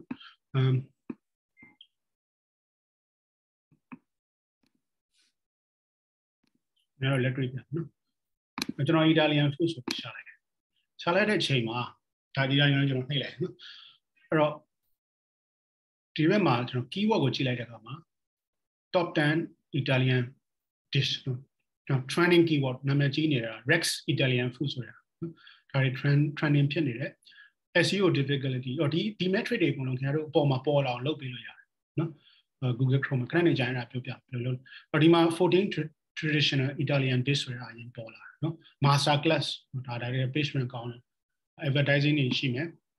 ပြီးရင်ဒီမှာ top 25 most popular Italian food တို့16 most iconic food တို့ဒါတွေကဆွဲဆောင်ပြီးတယ်နော် page မှာနံပါတ်1ထွက်လာလို့ရှိရင်ဒီကောင်နှိပ်ချင်ဟာဒါဆိုလို့ရှိရင်ကျွန်တော်အခုအီတလီစားစာရှာနေပြီဗျာရှာနေအီတလီကောင်းဆုံးစားစာ25ခုလို့ရေးထားအဲ့တော့နံပါတ်တွေနဲ့ရေးထားရင်လူတွေပိုစိတ်ဝင်လာတယ်မြင်လားမသိနံပါတ်မှာအများကြီးမရေးနဲ့ 5ခုလောက်ရေး top 5လို့ပြောလို့ရှိရင်အဲ့ဒါဝင်လာကြည့်ဖို့များတယ်အဲ့တော့ဒီဟာ click through rate CTR ဆိုလို့နှိပ်လိုက်တာ click through rate ခုကျွန်တော်နှိပ်လိုက်ပြီတွေ့လားတက်လာတက်လာတွေ့လားနော် speed page speed ဆိုတာပြီးလို့ရှိရင်ဒီမှာ quality ကြီးကြည့်မယ်နော်သူရေးထားတာဘယ်လိုရေးတဲ့လူလည်းတေချာရေးထားတယ်ဘယ်နည်းရရေးထားတာရှိတယ်ဓာတ်ပုံတွေပါတယ်တေချာရေးထားတယ်အဲ့တော့အဲ့မှာရှိမယ်နော်ဗီဒီယိုတွေပါမြန်မြန်ဆိုင်ဆိုင်ပါတယ်အဲ့တော့ဗီဒီယိုတွေပါရှိရမြင်လား quality တွေကောင်းတယ်ဒီမှာမှသူကကြော်ညာလာအဲ့တော့ပြောချင်တာကဘာလဲဆိုလို့ရှိရင် ခုန quality page ရှိဒါဟိုဒီမှာကျွန်တော်ဘယ်လောက်ကြာကြာ span လုပ်နေရေးချင်အဲ့ dwelling time မြင်လား click နှိပ်ဖို့ကနံပါတ်1ပြီးလို့ရှိရင်ဘယ်လောက်ကြာကြာနေပါမလဲဟော click နှိပ်ပြီးသားလို့ပြန်မထွက်သွားအောင်ကြာရှည်နေအောင်သူ့ကိုဘာတွေကျွေးမလဲဘာတွေပေးပလိုက်ဟုတ်ကိုစီအိမ်လာလဲဧည့်သည်မြင်လား website ကိုလာ visit လုပ်တယ်သူပြန်မသွားနိုင်အောင်ဘာတွေဆွဲဆောင်ပြီးလုပ်ပေးထားဗီဒီယိုကြည့်မယ်ဆိုရင်နည်းနည်းကြာအောင်အဲ့တော့ dwelling time တွေကတော့ပေါ်နေနော် ဒါတွေကိုကျွန်တော်လုပ်နေတယ် include video in your contact website တိုင်းမှာ video ထည့်တယ် mobile friendly လုပ်ပေးပါတယ်ဘာလဲရေးကြည့်ရဒီဘက်ခက်မှာ website ကိုဘယ်လူကကွန်ပျူတာရဲ့အနေနဲ့ဝင်တော့မှာတော့မြင်လားညသောဖြင့်တွေ့တယ်ဆို click နှိပ်လိုက်မယ်ကျွန်တော် mobile phone တွေကနေတစ်ချက်တွေ့ရအဲ့တော့တချို့ page တွေက mobile မှာကောင်း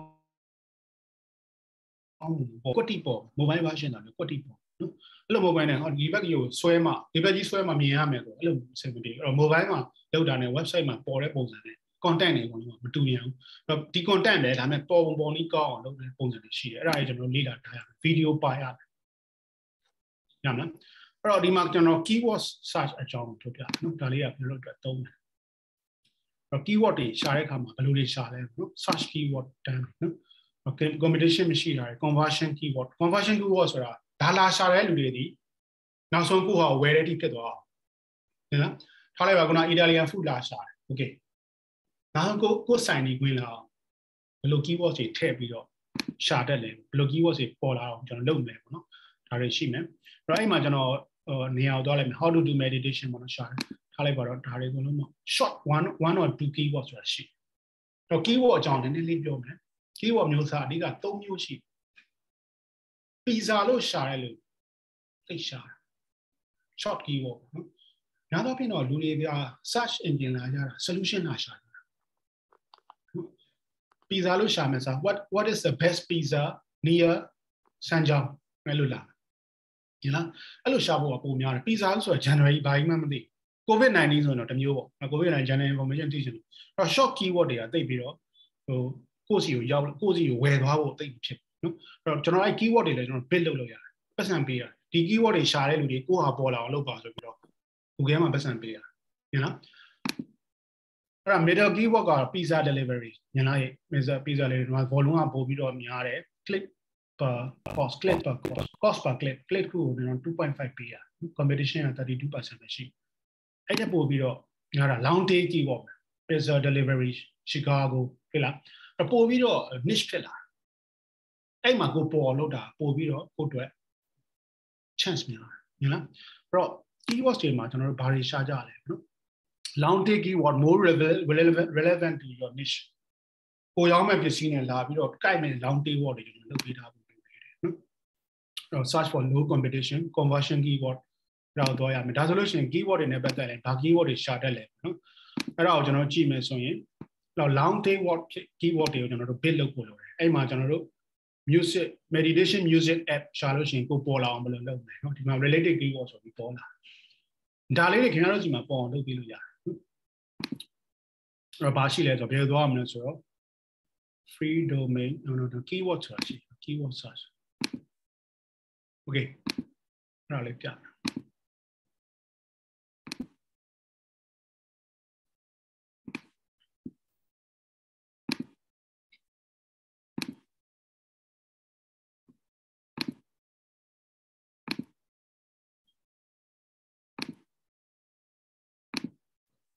Okay ဒီ website ကိုမှတ်ထား keywordseverywhere.com ဆိုတာရှိ keywordseverywhere.com နော်ဒီမှာတင်မယ်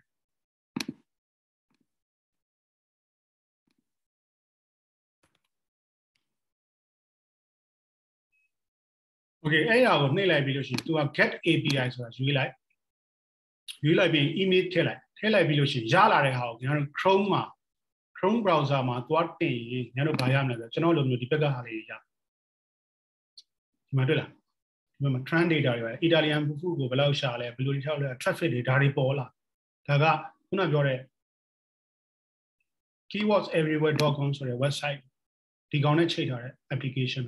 အခု browser မှာကိုရှာလိုက်တိုင်းဒီဒီ Italian food ကိုရှာတဲ့လူတွေပါဘာတွေပါလိုက်ပြီးတော့ရှာလဲဆိုတော့ပေါ်လာ related keyword people also search for လူတွေက Italian food လို့ရိုက်လို့ရှင်ဒါတွေလည်းရှာပါတယ်နော် long tail keyword ဆိုတာသူပေါ်လာပြီ long tail keyword ဒီမှာဆိုရင် Italian food list တော့နော်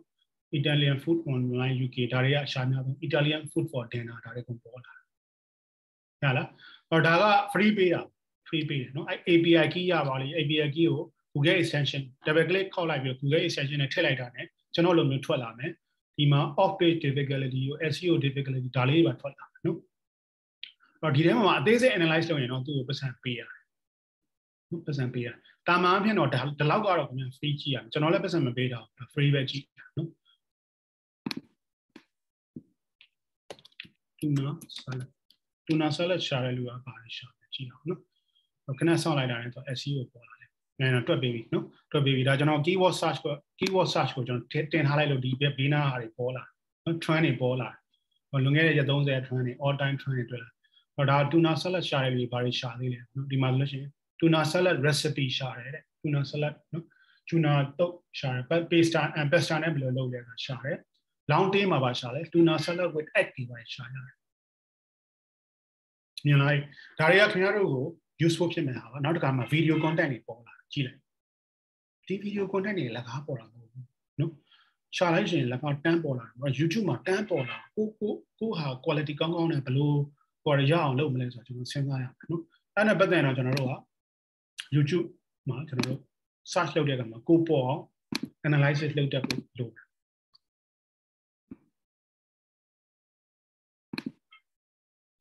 တော့ content ကိုဘယ်လိုရေးလဲနော်အဲ့တော့ smart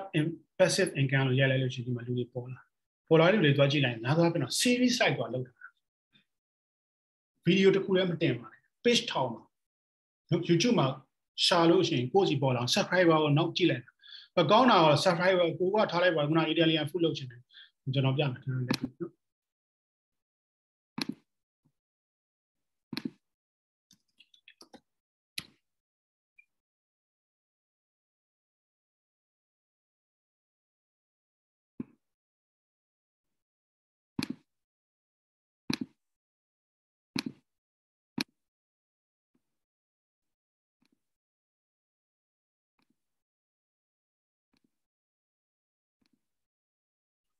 ဝေထားလိုက်ပါတော့ဒီမှာ Italian food Italian ကျွန်တော်ရိုက်လိုက်ပြီနော်ရှာလိုက်ပြီဒါဒီကဲကဲရှာလိုက်လို့ရှိရင်ဒီမှာခင်ဗျားတို့ကြည့်လိုက်4 million ကြည့်သွားတယ်ဟုတ်လား2 year ago 4 million ကြည့်သွားတယ်4.3 million ကြည့်သွားတယ်သူ့ပုံပြီးရင်ဒီမှာ Mark Wing သူလည်းတော်တော်နာမည်ကြီး2 million view 6 month ago အဲ့ဒါပြတယ်နော်နောက်တစ်ခါဒီ3 million အဲ့တော့ဒီမှာပြတဲ့ ဒီ first page မှာကျွန်တော်တို့ပေါ်ခြင်းတယ်နော်ပေါ်ခြင်းတယ်ဆိုတော့ဒီလူတွေဘယ်လိုလုပ်လဲဆိုတာကြည့်ရအဲ့တော့အဲ့မှာကျွန်တော်တို့ကဘာလုပ်မလဲ Warrior Italian အာ top channel လဲ look martin ဒီမှာတွေ့လားခုနကဟိုက keyword ကိုတင်ထားလို့ရှင်ဒါလို့လို့ပေါ်ပေးလိုက်တယ်နော်ခုန keyword search လေး APN တင်လိုက်ရင်အဲ့မှာကျွန်တော် look martin ကြည့်တော့ဘာသူဒီ top လို့ပြောတာနော် one video နဲ့တင်ထားတယ်ကြည့်ရလူက20 million အောင် maximum view ရှိတယ်ဆိုတော့သူဘာလို့တင်ထားတယ်သူ content ဘယ်လိုရေးတယ်ဘာတွေ video ရိုက်လဲကျွန်တော်သိချင်တော့သူကျွန်တော်နှိပ်လိုက် look martin subscriber ပေါင်း1.2 million ရှိတယ်နော်အဲ့ပြီးလို့ရှိရင်ကျွန်တော်ဗာလုပ်ဘာလုပ်မလဲဆိုတော့ तू ဘာတွေတင်လဲ तू ဘာတွေရေးလဲဒီဒီ keyword လေးတွေတွေ့လားဒီမှာခေါင်းစဉ်တိုက်တယ်တွေဘယ်လိုတက်လဲတဲ့ကျွန်တော်လိုက်ကြည့်ရပြောရင်တော့ copy paste မဟုတ်ပင်မဲ့လည်းသူ့ပုံစံမျိုး traffic ရအောင်ကျွန်တော်ဘယ်လိုလုပ်မလဲဆိုတော့ကြည်ရင်းနေပြင်လဲ comedy analysis ရမလားအဲ့မှာမှ तू ဒီညာတော့ပြင် तू တွေ့လိမ့်မယ်ခင်ဗျားတို့6 day ago လို့ပါတော့ တောက်လျှောက်တင်နေတာတွေ့လိမ့်မယ်နော်တောက်လျှောက်မတင်ရင် तू ကပြန်ပြီးတော့ပြောင်းနောက်တစ်ခါဘာလုပ်ပေးရ playlist တွေလုပ်ပေးရနော် Indonesian street food ဆို Indonesian street food Philippine street food ဆို Euro ဆို Euro ဟုတ်လားဒါကြည့်ရလူတွေလွယ်အောင်ရှာရလွယ်အောင်နော် channel list တွေ playlist တွေတက်တက်လုပ်ပေးတာ create လုပ်ပေးတာရယ် content quality ကောင်းလိမ့်မယ် နောက်တစ်ခါခုနပြောလို့တကယ်ကို authority ကောင်းတယ်တကယ်ကိုမှဘီနာအမှန်လေးလည်းပါတယ် subscriber တွေလည်းပါတယ်နော်ဒါတွေကတော့ about တွေပဲကျွန်တော်ဝင်ကြည့်လိုက်လို့ရတယ်သူကြောင့်ဘယ်လိုရေးထား description ပါရှိလဲဘာ channel လေးရှိလဲ Facebook မှာဘယ်လိုရှိသေးလဲဘယ်တော့မှစထောင်းတာလဲ viewer ဘယ်လောက်ရှိလဲ viewer အများစုကဘယ်ကလာလဲမြင်လားဒါတွေအကုန်လုံးကြည့်လို့ရတော့ပြောချင်တာကဘာလဲဆိုတော့ media platform တို့တဲ့ညမှာ YouTube တွေမှာပဲဖြစ်ဖြစ် Facebook မှာပဲဖြစ်ဖြစ်ဘလူလာရှာရှာရှာကိုယ့်ကိုတွေ့မှာရ ကိုယ့်မတွေ့ရင်ခင်ဗျားမရှိဘူးမမြင်ရဘူးသူကမှတော့ဘာရှိလဲ Google Map ဟင်လား Google Map မှာမပေါ်ရင်ခင်ဗျားဘာမှမပေါ်တော့ Google Map မှာမပေါ်ရင်ဘာဖြစ်လို့လဲခရီးသွားရလူတွေကတော့ Google Map မှာပဲရှာတယ်နောက်ဆုံးဒီဟို hotel မှာ hotel တွေအစားပစ္စည်းတွေအစားဘလောက်ရှိလဲဘယ်နှမ်းမှာဘလောက်ကြောင်းလဲအကုန်လုံးသွားတာနော်အဲ့တော့အဲ့မှာပေါ်အောင်လုပ်ဖို့လိုလာโอเคအဲ့တော့ခုနဟာလေးကျွန်တော်ပြီးနော် keyword search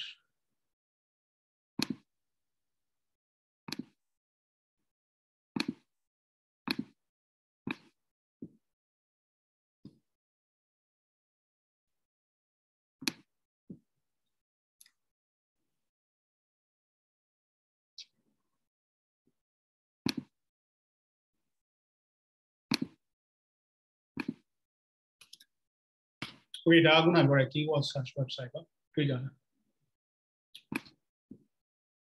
အဲ့ဒီမှာ APN ယူယူပြီးခင်ဗျားတို့ browser တွေကိုထည့်လိုက်ထည့်လိုက်ရင်ကျွန်တော်ခုနပြတဲ့ဟာမျိုးပေါ်လာ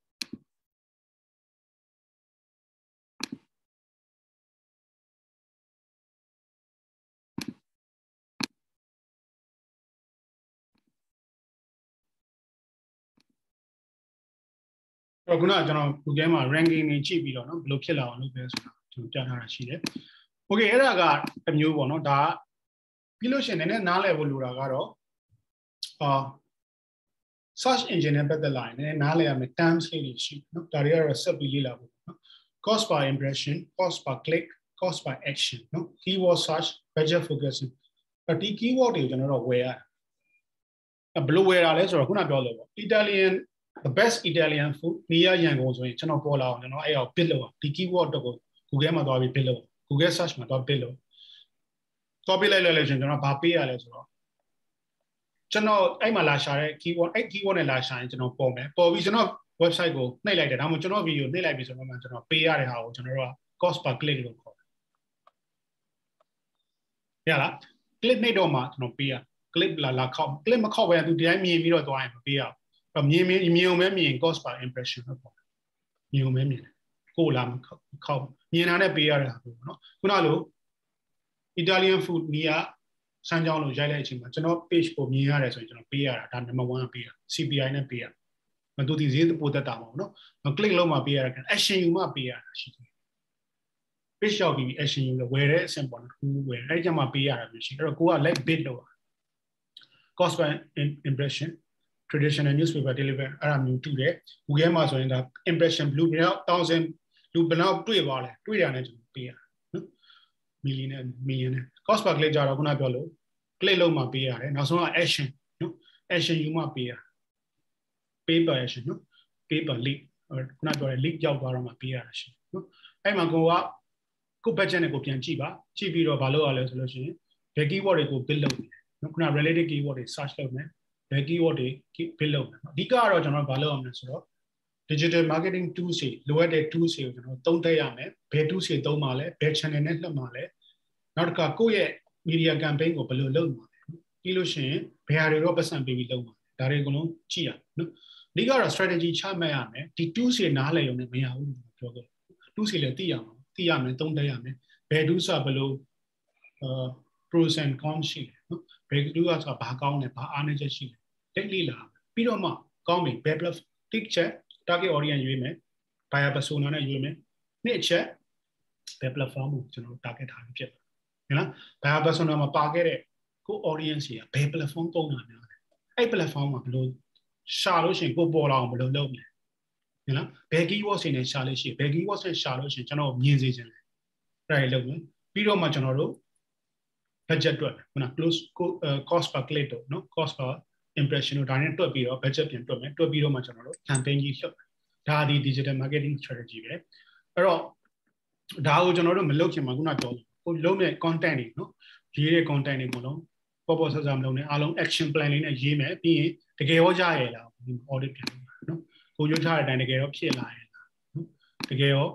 ကိုကို campaign ကအောင်မြင်ရဲ့လားပြန်ပြီးတော့ revenue နဲ့ပြန်တိုင်းတာ metric ROI လို့ပြောနော် return on investment ပြန်တိုင်းတာရှိတယ် Okay နောက်ဆုံး tools လေးတစ်ခုပြင်နော်ရှင်းရလဲဟိုကြည့်တော့မဆုံးအဲနောက်ဆုံး tools ကတော့ကျွန်တော်ဗာလဲဆိုလို့ရှိရင် AB testing ဆိုတဲ့ဟာနော်သူကကျွန်တော်ကို website ကိုလာတဲ့လူတွေထဲမှာအဲဘယ် design ကိုပို့ပြီးတော့ကြိုက်ကြလဲဘယ် design ကြိုက်လို့ဘယ် design ကပိုအောင်မြင်လဲဆိုတော့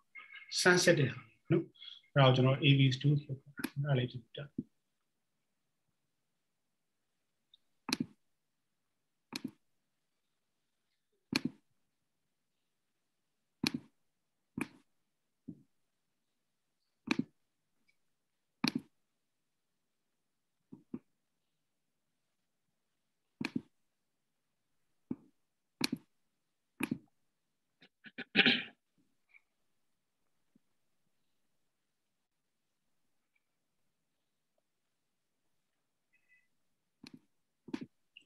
Okay AB testing ဆိုတာရှိနော် digital marketing မှာပဲဖြစ်ဖြစ် operation မှာပဲဖြစ်ဖြစ်အဲ့တော့ကို website မှာလာတဲ့ visitor တွေကဘယ် design ပုံကြိုက်လဲပေါ့နော်ဥပမာထားလိုက်ပါကျွန်တော် website မှာအနီအောင်လေးလောက်ထားတယ်အစိမ်းအောင်လောက်ထားတယ်နော်မတူတဲ့နေရာမှာ A ဒီအနီအောင် B ဒီအစိမ်းအောင်အဲ့တော့ဘယ်ကောင်မှဝယ်သွားတာပုံများတယ်နော် A မှာဝယ်တာလား B မှာဝယ်တာများ sensitive website design နဲ့ပတ်သက်လာတယ်နော်ဒီခါကျတော့ Amazon တို့ပါတော့တိတ် sensitive Amazon ဆိုတော့ book ကြီးပဲလောက်ထားတာရှိတယ်နောက် book and magazine ဆိုပြီးတွဲထားတယ်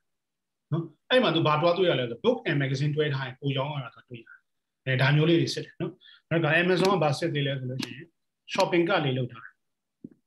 shopping cart ထဲကိုထည့်ခိုင်းတယ်ပေါ့ထည့်ခိုင်းပြီးတော့1တွေ2တွေပေါ်နေလို့ရှိရင်လည်းအဲ့ shopping cart ကြီးကို clear လုပ်ချင်တော့အဲ့ shopping cart ထဲထည့်ထားတဲ့ပစ္စည်းတွေဝယ်သွားတာပုံများတယ်ဆိုတော့တွေ့ရတယ်နော်ဘယ်ကတွေ့ရလဲဒီ AB testing ကနေတွေ့ရတယ် AB testing လုပ်လိုက်တွေ့ရတယ် အဲ့ဒါပဲနောက်ပိုင်းသူကဘာလို့လို့ဒီပုံမှာပေါ်နေအောင်လုပ်ပြီးလိုက်လူတွေရဲ့စိတ်ထဲမှာလည်းဒီဟာကြီးကိုတန်ရှင်းလုပ်လိုက်ချင်နော်ဒါကြီးကို clear လုပ်ချင်လို့မလုပ်ချင်ဝယ်ပလိုက်ချင်တော့ဒီလိုထည့်ထားတာများလို့ချင်ဝယ်ဖို့ပုံများတယ်ဘယ်ချိန်မဲ့သွားသွားသွားအဲ့ website ကိုပြန်ဝင်လိုက်တာနဲ့ကိုထည့်ထားတာကြီးမပြောက်တချို့ဆိုတွေ့လိမ့်မယ် shopping cart ထဲဝင်နေအဲ့ဒါကြီးကိုကို delete လုပ်ရင်လည်းမလုပ်ရင်မပြောက်မပြောက်တဲ့အခါကျတော့ဒါကြီးကပြန်မှတ်မိနေတော့ maybe ပြန်လိုချင်တာဖြစ်နိုင်တယ်အခုကတော့မဝင်နိုင်သေးဘူးခဏထားခဏနေကျပြန်လိုချင်တာဖြစ်လာနိုင်တယ်အဲ့တော့ဒါကြောင့်မလို့သူကဘာဖြစ်လဲဆိုတော့အာ AB testing ဒီတော့လေးအရေးပါတာသူတွေ့ရတယ်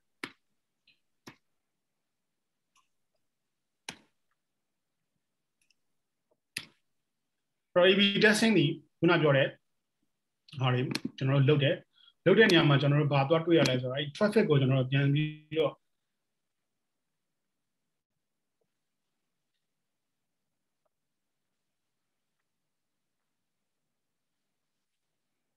ကြည့်လိုက်ရပြီတိုင်းတဲ့ဟာတွေတုံးလို့ရတယ်ဆိုတော့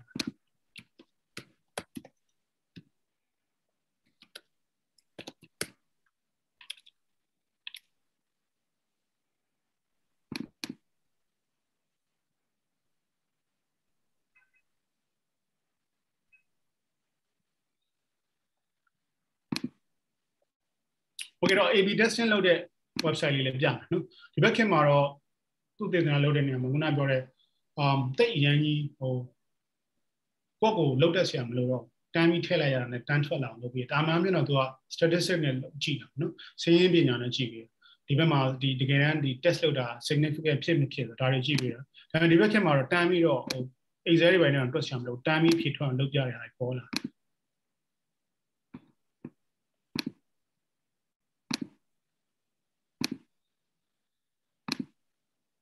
AB testing မှာချက်ပြမယ် visitor ရရှိတယ် A နဲ့ B နဲ့ခွဲလိုက်တယ်ပုံစံလေးနှစ်ခုလုပ်ကြည့်တယ်နော်အကြာနဲ့လုပ်တဲ့အချိန်မှာမှတ်ထားလိုက်တယ်လူတယောက်လာလာအနီလေးလုပ်လိုက်တဲ့အချိန်မှာဒါအာဒီဥနဲ့လုပ်ကြည့်တပတ်လောက် run ကြည့်လိုက်တယ်နောက်တစ်ခါအနီလေးနဲ့လုပ်ကြည့်လိုက်တယ် shopping အဲ့ထဲမှာ blue ပုံများလဲဒီ number တွေထွက်ထွက်လာရင်ကျွန်တော်ဒါဆို24ရာခိုင်နှုန်းဆိုပိုကောင်းတယ်ဝယ်ဝိုင်းလို့ပုံများတော့ဒီတော့ထားမယ်ဒါဒီ A နဲ့ B နဲ့ option A နဲ့ B နဲ့ရွေးရွေးပြီးတော့လုပ်ကြည့်တာနော်အဲ့ဒီမှာကျွန်တော်တို့ဘယ်ကများလဲဘယ်ကသွားလဲဆိုတာကိုကျွန်တော်သိဖို့အတွက်ကျွန်တော်တို့ကဒီ test လုပ်ရတာရှိအဲ့ test မှာကျွန်တော်တို့ metrics တွေပါလာကဏ္ဍတွေပါလာနော်ဒီကဏ္ဍတွေသိဖို့လိုလာနော်အဲ့ကဏ္ဍတွေကိုကျွန်တော်တို့သိဖို့အတွက်ဘာဖြစ်လဲဆိုတော့ website တစ်ခုကလုပ်ပေးထားတယ်နော်ဒီအောင် calculation လုပ်ပေးထားတဲ့ website ရှိတယ်အဲ့ဒါလေးကိုကျွန်တော်ခုပြမယ်ဒါဒီနောက်ဆုံး tools ပါနော်ထားလိုက်ပါတော့ဒီမှာ visitor အတူတူပဲပေါ့နော်အဲ့တော့ visitor um ABC ပေါ့ ABC sign တွေကိုလာတဲ့လူတနေ့ကိုကျွန်တော်တို့900ရှိတယ်တော့နော်900လာတယ်တော့ ABC sign ထဲမှာမှကျွန်တော်တို့ပုံစံနှမျိုးလုပ်ကြည့်ရတယ်ပထမတစ်ပတ်မှာသူကဒီနွားနို့ mid ကိုပဲကျွန်တော်ကြော်ညာထောင်ကြော်ညာဘုတ်ထောင်ပြီးတော့ထားရတယ်ပေါ့နော် mid ကိုကြော်ညာဘုတ်ထောင်တဲ့အခါမှာကျွန်တော်တို့ကြော်ညာဘုတ်ကိုထားလိုက်ပါတော့ရှေ့ဆုံးမှာပေါ့ဝင်ဝင်ချင်းအပေါက်မှာသွားထားတယ်ဝင်ဝင်ချင်းအပေါက်မှာသွားထားတဲ့အချိန်မှာဝယ်သွားတဲ့လူကထားလိုက်ပါတော့ကျွန်တော်တို့ အာ900ဆိုနေတယ်9000ထားတယ်နော်9000 9000လာတယ်ဝယ်သွားတဲ့လူကကျွန်တော်ထားလိုက်ပါ1200ရှိတယ်အဲ့တော့နောက်တစ်ခါစိုင်ထဲမှာကြော်ညာနော်ပြင်မှာမကြော်ညာဘူးနော် ABC ရဲ့အပြင်မှာမကြော်ညာအတွင်းမှာကြော်ညာနော်အတွင်းညာကြော်ညာတဲ့အခါမှာကျွန်တော်တို့ပို့ပြီးတော့အတွင်းဆိုတာဒီဒီ register counter နားမှာ short ဈေးပါညာပေါ့နော်ဒီဒီကြက်ဝလေးနဲ့ပြပြီးတော့ထောင်ထားတာထောင်ထားတဲ့အချိန်မှာကျွန်တော်တို့1350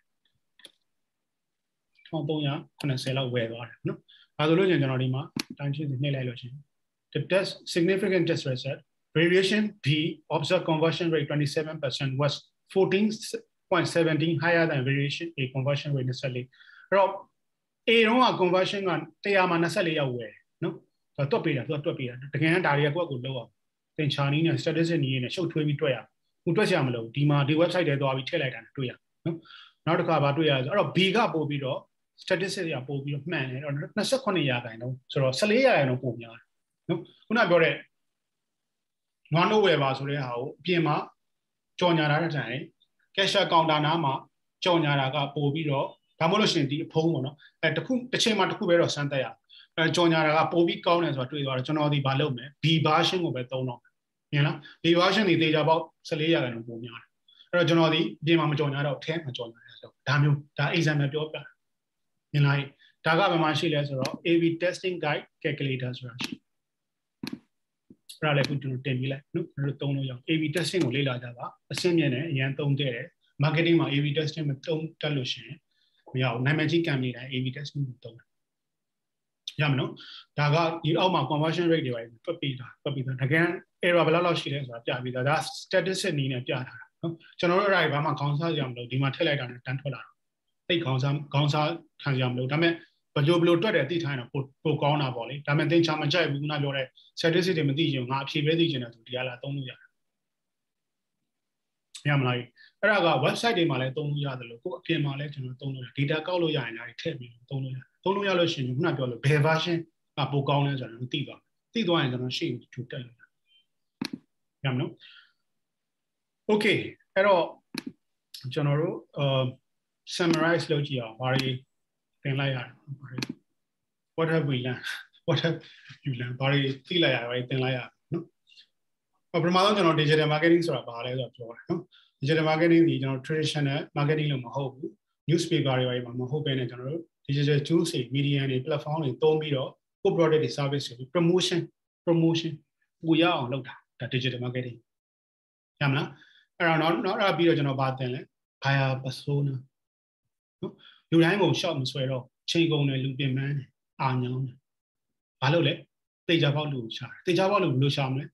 ရောက်လာတဲ့လူလာနေတဲ့လူနော်ဒီဒီခန်းကိုလာဒီဟိုတယ်ကိုလာနေတဲ့လူအဲ့လူတွေကဘယ်လိုပုံစံလဲတိဆောက်လဲဆောက်ပြီးတော့မှကျွန်တော်တော့ရမလား buyer persona ရေးကြည့်โอเคအဲ့ဒါပြီးတော့ဘာလုပ်လဲကျွန်တော်တို့အာ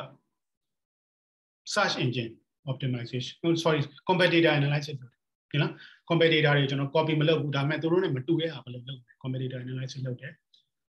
အဲ့ဒါပြီးတော့ကျွန်တော်တို့ဘာလုပ်လဲ search engine optimization နော် search engine optimization sorry sorry target audience ရဲ့ platform တွေပါသုံးတယ်ဒါရ persona ရပြီဆိုရင်သူ့ရဲ့ platform နော် Facebook လား YouTube လားနော် TikTok လားဒါတွေလိုက်ရှာမယ်ကိုငားတွေတော့မှရှိတယ်ဟုတ်လားမအဲ့ရှိတဲ့ platform ကိုကျွန်တော် motivate ပြီးတော့မှဒီ platform ကိုဘယ်လိုရှာလို့ရှိရင်ကိုပေါ်အောင်ဘယ်လိုလုပ်မလဲ keyword search engine keyword တွေဘယ် keyword တွေနဲ့ကိုယ်နဲ့သွားပြီးတော့သာဟာတာဖြစ်အောင်လုပ်မယ်ဟုတ်လားအဲ့မှာမှကျွန်တော်မလုပ်မယ်ကို page ကိုလူများများကြာနေအောင်ဘယ်လိုလုပ်မလဲ quality content တွေရေးမယ် quality video တွေထည့်ပေးမယ်မြင်လားတခါ off page အနေနဲ့ကို link နေ Facebook တို့ YouTube တို့ဆက်ရှိနေတာတွေဘယ်လိုဆက်ပြီးတော့တွဲဖက်ပြီးချိန်ပေးမယ်ဒါအပြင်ပဲလားမဟုတ်ဘူးကို net partner network နော်လုပ်ထားတဲ့ဟာအကျိုးတူကျိုးပဲရှိမဲ့လူတွေရဲ့ quality ကောင်းတဲ့ website တွေဆက်ချိတ်ပေးလိုက်အဲ့တော့ကိုစီကိုလာကြတယ်ကိုစီဒီသူတရနာတကြီးလို့ဖြစ်နေတယ်ကို website ကို website ကိုလာရတာအကုန်ရသွားနိုင်တယ်ဒီအသင့်လုပ်ပေးတာနော်ဘာလို့လုပ်မှာလဲလာမဲ့လူရဲ့လိုချင်တဲ့ဟာကိုလွယ်တကူပေးနိုင်အောင်ကြိုးစားနော် YouTube ဆိုလဲ YouTube မှာ playlist တွေတက်တက်လုပ်ပေးတာ content ကောင်းကောင်းလုပ်ပေးထားမယ်သူတို့ဘာလာရှာလဲဆိုတော့ကိုကြိုခံမှန်းထားနိုင်ပေါ့သူ့နေရာကိုဝင်ကြည့်တယ်သူတို့ပေးနေပြီကျွန်တော်နားလည်အောင်ကြိုးစားပြီးတော့ တက်တက်ရဲ့လုပ်ပေးထားမယ်ဆိုလို့ရှိရင်ကျွန်တော်တို့ဒီပိုရမယ်ပိုရရတဲ့နောက်ဆုံးမှာဘာဖြစ်လဲခုနပြောတဲ့ conversion rate တွေများလာနော်အဲ့မှာကျွန်တော်တို့ website တွေဒါမှမဟုတ်လို့ရှိရင် variation တွေလုပ်မယ်ဆိုတော့ AB testing လေးကိုသုံးပြီးတော့လုပ်ကြဖို့လုပ်လာ Okay um ကျွန်တော်ပေးစရာကတော့ဒီလောက်ပါပဲအာမေးစရာရှိရင်မေးလို့ရပါပြီဒီကြားထဲမှာတော့ကျွန်တော်ခုနပြောတဲ့ resources လေးတွေကျွန်တော်တင်ပေးဖို့ကျွန်တော်လုပ် နေပါနော်ထပ်တင်ကြည့်တယ် Okay မေးလို့ရပြီမသနာရေမေးလို့ရတယ်ဆိုတာဖိတ်ခေါ်လို့ရနော်ဟုတ်ကဲ့မေးခွန်းလေးတွေမေးလို့ရပါတယ်ရှင်ဆရာကိုမေးခွန်းလေးတွေအာတယောက်ချင်းစီမေးပေးပါနော်ဟုတ်ကဲ့ဟုတ်ဟော chat box မှာရေးပြီးတော့မေးလေးရပါတယ်ဟုတ်ကဲ့မိုက်လေးတွေဖွင့်ပြီးတော့မေးပေးပါနော်ဟုတ်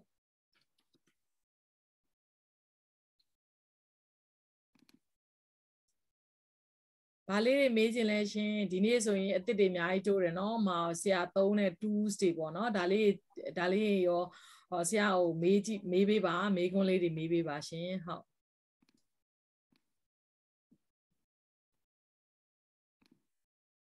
မိုက်လေးမိုက်လေးဖွင့်ပြီးတော့မေးပေးပါနော်မတ်သင်းစာဟုတ်ဟုတ်မတ်သင်းစာဟုတ်ဟုတ်မိုက်ဖွင့်ပြီးတော့မှမေးပြီးမှရမယ်ဟုတ်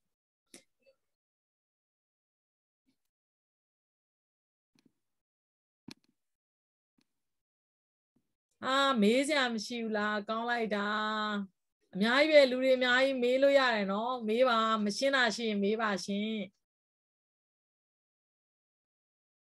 โอเคကျွန်တော်၅ခုပဲဖြည့်ပြီးတော့ချိန်နေလဲဟိုမေးမဲ့လူတွေချိန်ကုန်သွားတယ်ဆို၅ခုလောက်ပဲဖြည့်ပြီး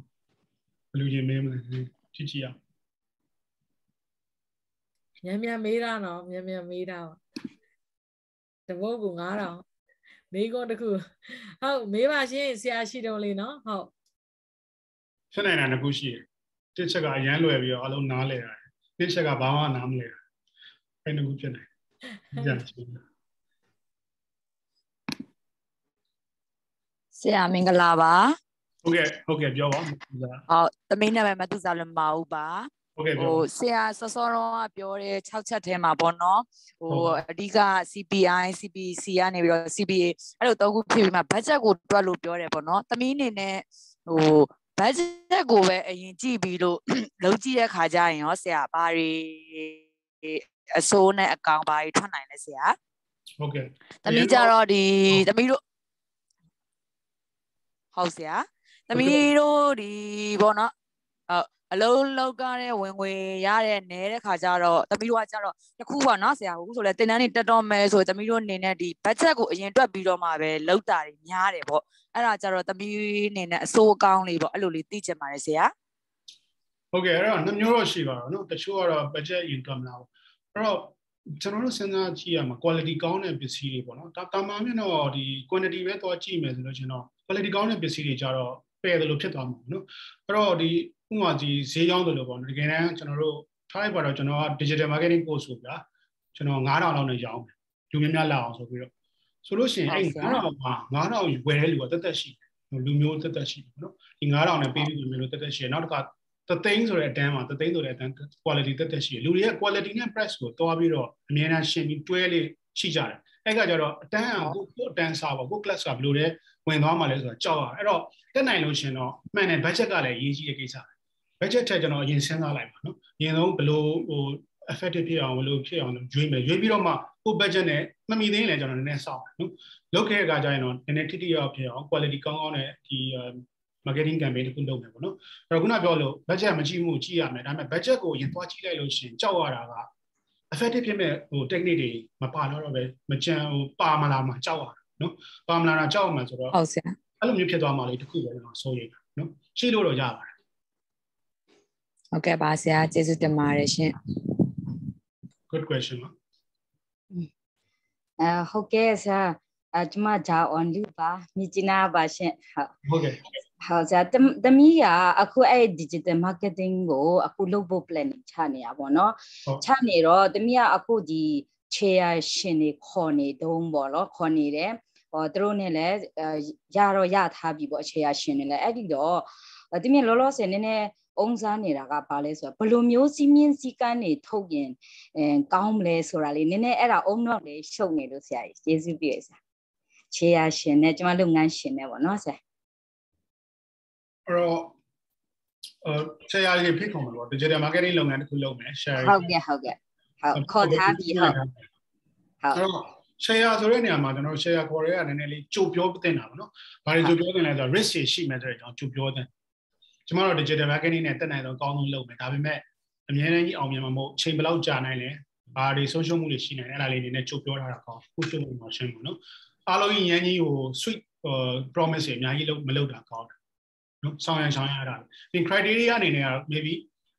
ကျွန်တော်တို့ startup ဖြစ်တဲ့အတွက်နှစ်နှစ်သုံးနှစ်လောက်တော့ရင်းနှီးမြှုပ်နှံထားရမယ်နော်ချက်ချင်းကြီးလုပ်ပြီးချက်ချင်းငွေပေါ်နေတဲ့လူတွေတော့လုပ်လို့မရအောင်နော်အဲ့ဒါလေးနည်းနည်းရှင်းပြထားဖို့ criteria ဆိုတာခါကြရင်ကျွန်တော်တို့ကစီးပွားရေးလုပ်တဲ့အခါမှာ maybe နှစ်နှစ်သုံးနှစ်လောက်မှစပြီးတော့လမ်းကြောင်းပေါ်လာတာရှိတချို့အဲ့အချိန်မှာမသိခံနိုင်ညာချက်ချင်းထည့်ပြီးတော့ချက်ချင်းပေါ်တယ်နမကြာဟောလို့တော်ပြီးတော့ဟာငါထည့်ထားတာချောလိုက်လို့ဘာမှလည်းမပေါ်တော့ငါဆွဲထုတ်တော့မယ်ဆွဲထုတ်လို့မရအောင်ကြိုပြီးတော့ပြောထားရမယ်တက်နိုင်လို့ရှင်တော့နှစ်သုံးနှစ်လောက်သွားချင်းသွားမယ်စသဖြင့်ပေါ့အဲ့လို criteria တွေရွေးပြီးတော့ပြောတာတော့ပိုကောင်းတယ်ခုရှုံးမှနောင်ရှင်နော်အဲ့ investor တွေကိုလာထည့်မယ်ဆိုရင်တိတ်မပြောပါနဲ့ပြဿနာပါလဲဆိုပြန်ပြီးတော့လာထည့်ပြီးတော့မှဟိုထုတ်ရတွင်းရနဲ့နောက်ပြီးတော့ ကိုယ့် reputation တွေမှာထိခိုက်လာပိုဆိုးမှကြောက်တယ်အဲ့တော့ခုနပြောတဲ့ criteria တွေထားရတဲ့နေရာမှာတက်နိုင်တဲ့လောက်တော့နည်းနည်း realistic criteria လေးထားပြီဟုတ်ရမနော်ဟုတ်ကဲ့ရှင်ကျေးဇူးပါရှင်ဆရာဟုတ်ကျေးဇူးပါ ဟုတ်ကဲ့ဆရာမင်္ဂလာပါရှင်ဟုတ်ကဲ့ကျွန်မကဟို NMDC ကဆရာမတော်ကြီးမွန်တက်ပါရှင်ဆရာဟုတ်ကဲ့ဆရာမကပြောလိုက်တဲ့လေ analytical tools က AV testing ကလေဆရာတိကျသေးချာတဲ့ဟိုပေါ့နော် report မျိုးရောပေးနိုင်လားရိုးရိုး describe လောက်ပဲပြနိုင်လားဒါလေးသိချင်လို့ပါဆရာဟုတ်ကဲ့ဟုတ်ကဲ့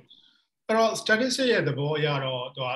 လုံးဝဒါ dash sure လို့ပြောလို့မရဘူးเนาะများသောအားဖြင့်တော့ confident level ဆိုတာရှိရပါတော့95ရာခိုင်နှုန်း confident လား99%လားပေါ့เนาะဥပမာဒီတန်းထဲမှာလာလာလာအခုလာတက်နေတဲ့ဒီအသက်အရွယ်ပိုင်းခြားကျွန်တော်ပြောမယ်ဆိုရင်18ကနေအသက်60အထိဆိုဒါ95%သိကြအဲ့ဒါအဲ့တဲ့ပိုသေးကြခြင်းကျွန်တော်ဗာပြောရမယ်10နှစ်ကနေကျွန်တော် သွားပြီ90 80လောက်ထိပြောမယ်ဆိုတော့တေချာပေါ့အဲ့လူတွေအဲ့တဲမှာရှိမယ်လို့ပြောလို့ရ။ confident level ပေါ့မူတည်တယ်။အဲ့တော့ side ဒီ statistics သဘောအရတော့ dash sure ရလို့တော့မရှိဘူးပေါ့နော်။ဒါပေမဲ့ probability ရဆိုတော့ဘယ်လောက် confidence ရှိရှိနေငါပြောလို့ရမယ်ဆိုတာကတော့ပေးနိုင်တယ်ဟုတ်ကဲ့ဆရာကျေးဇူးပါ။ဟုတ်ကဲ့မိကုန်းကောင်းပါတယ်။ Okay နောက်နှစ်ခုတောက်ကြမယ်နော်ဟုတ်လား။မတင် ဟုတ်နောက်နှစ်ခုတော့ရအောင်မယ်မြန်မြန်လေးမေးဟုတ်ပါကဲ့ဆရာ KK သေးပါရှင်ဆရာ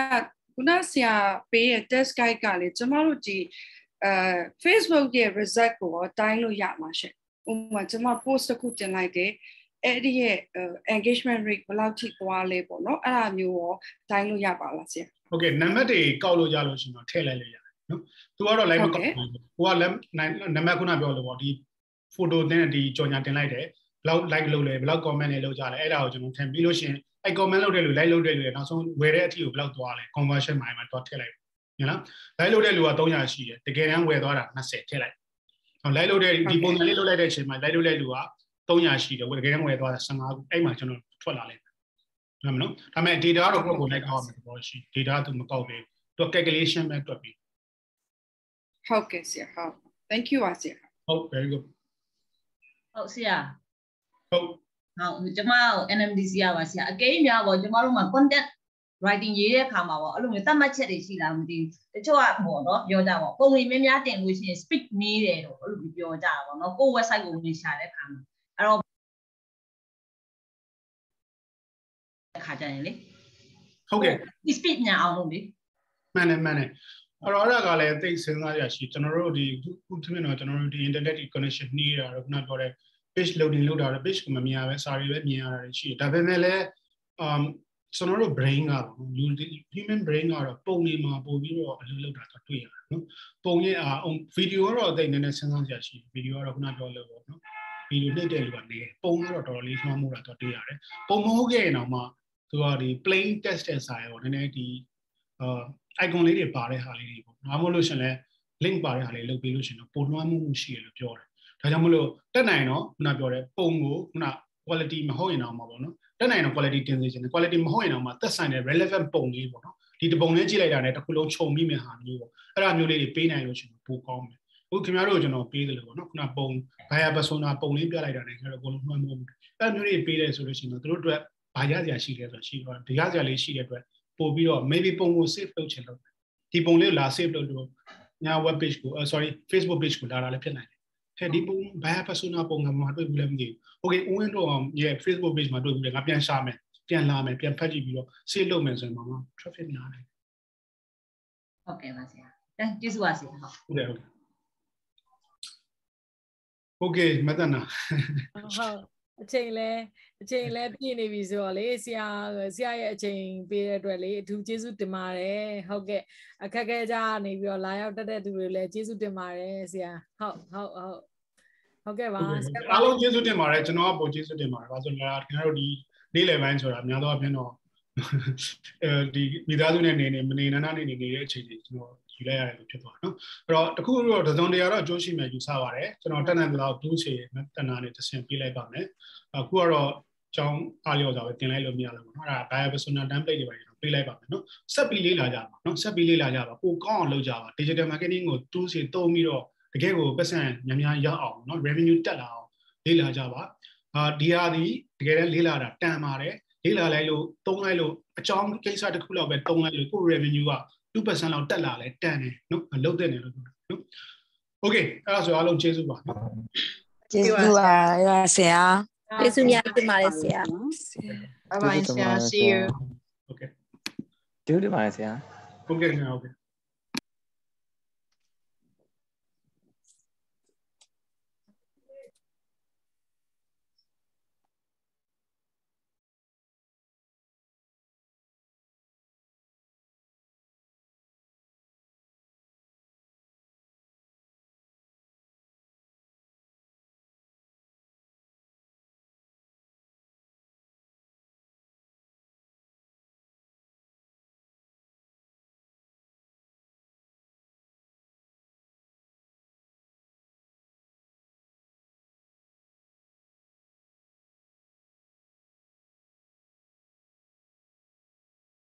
အားလုံးကိုလေ email ကနေပို့ပေးပါမယ်เนาะဆရာပေးတဲ့ဟာလေးတွေလေ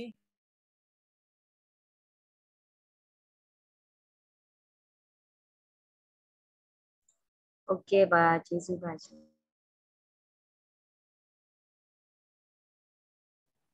ကျေးဇူးပါမတနာ see you in the evening ဟုတ်ကဲ့ပါရှင်ဟုတ်ကဲ့ပါ ဟုတ် bye bye ဟုတ် bye bye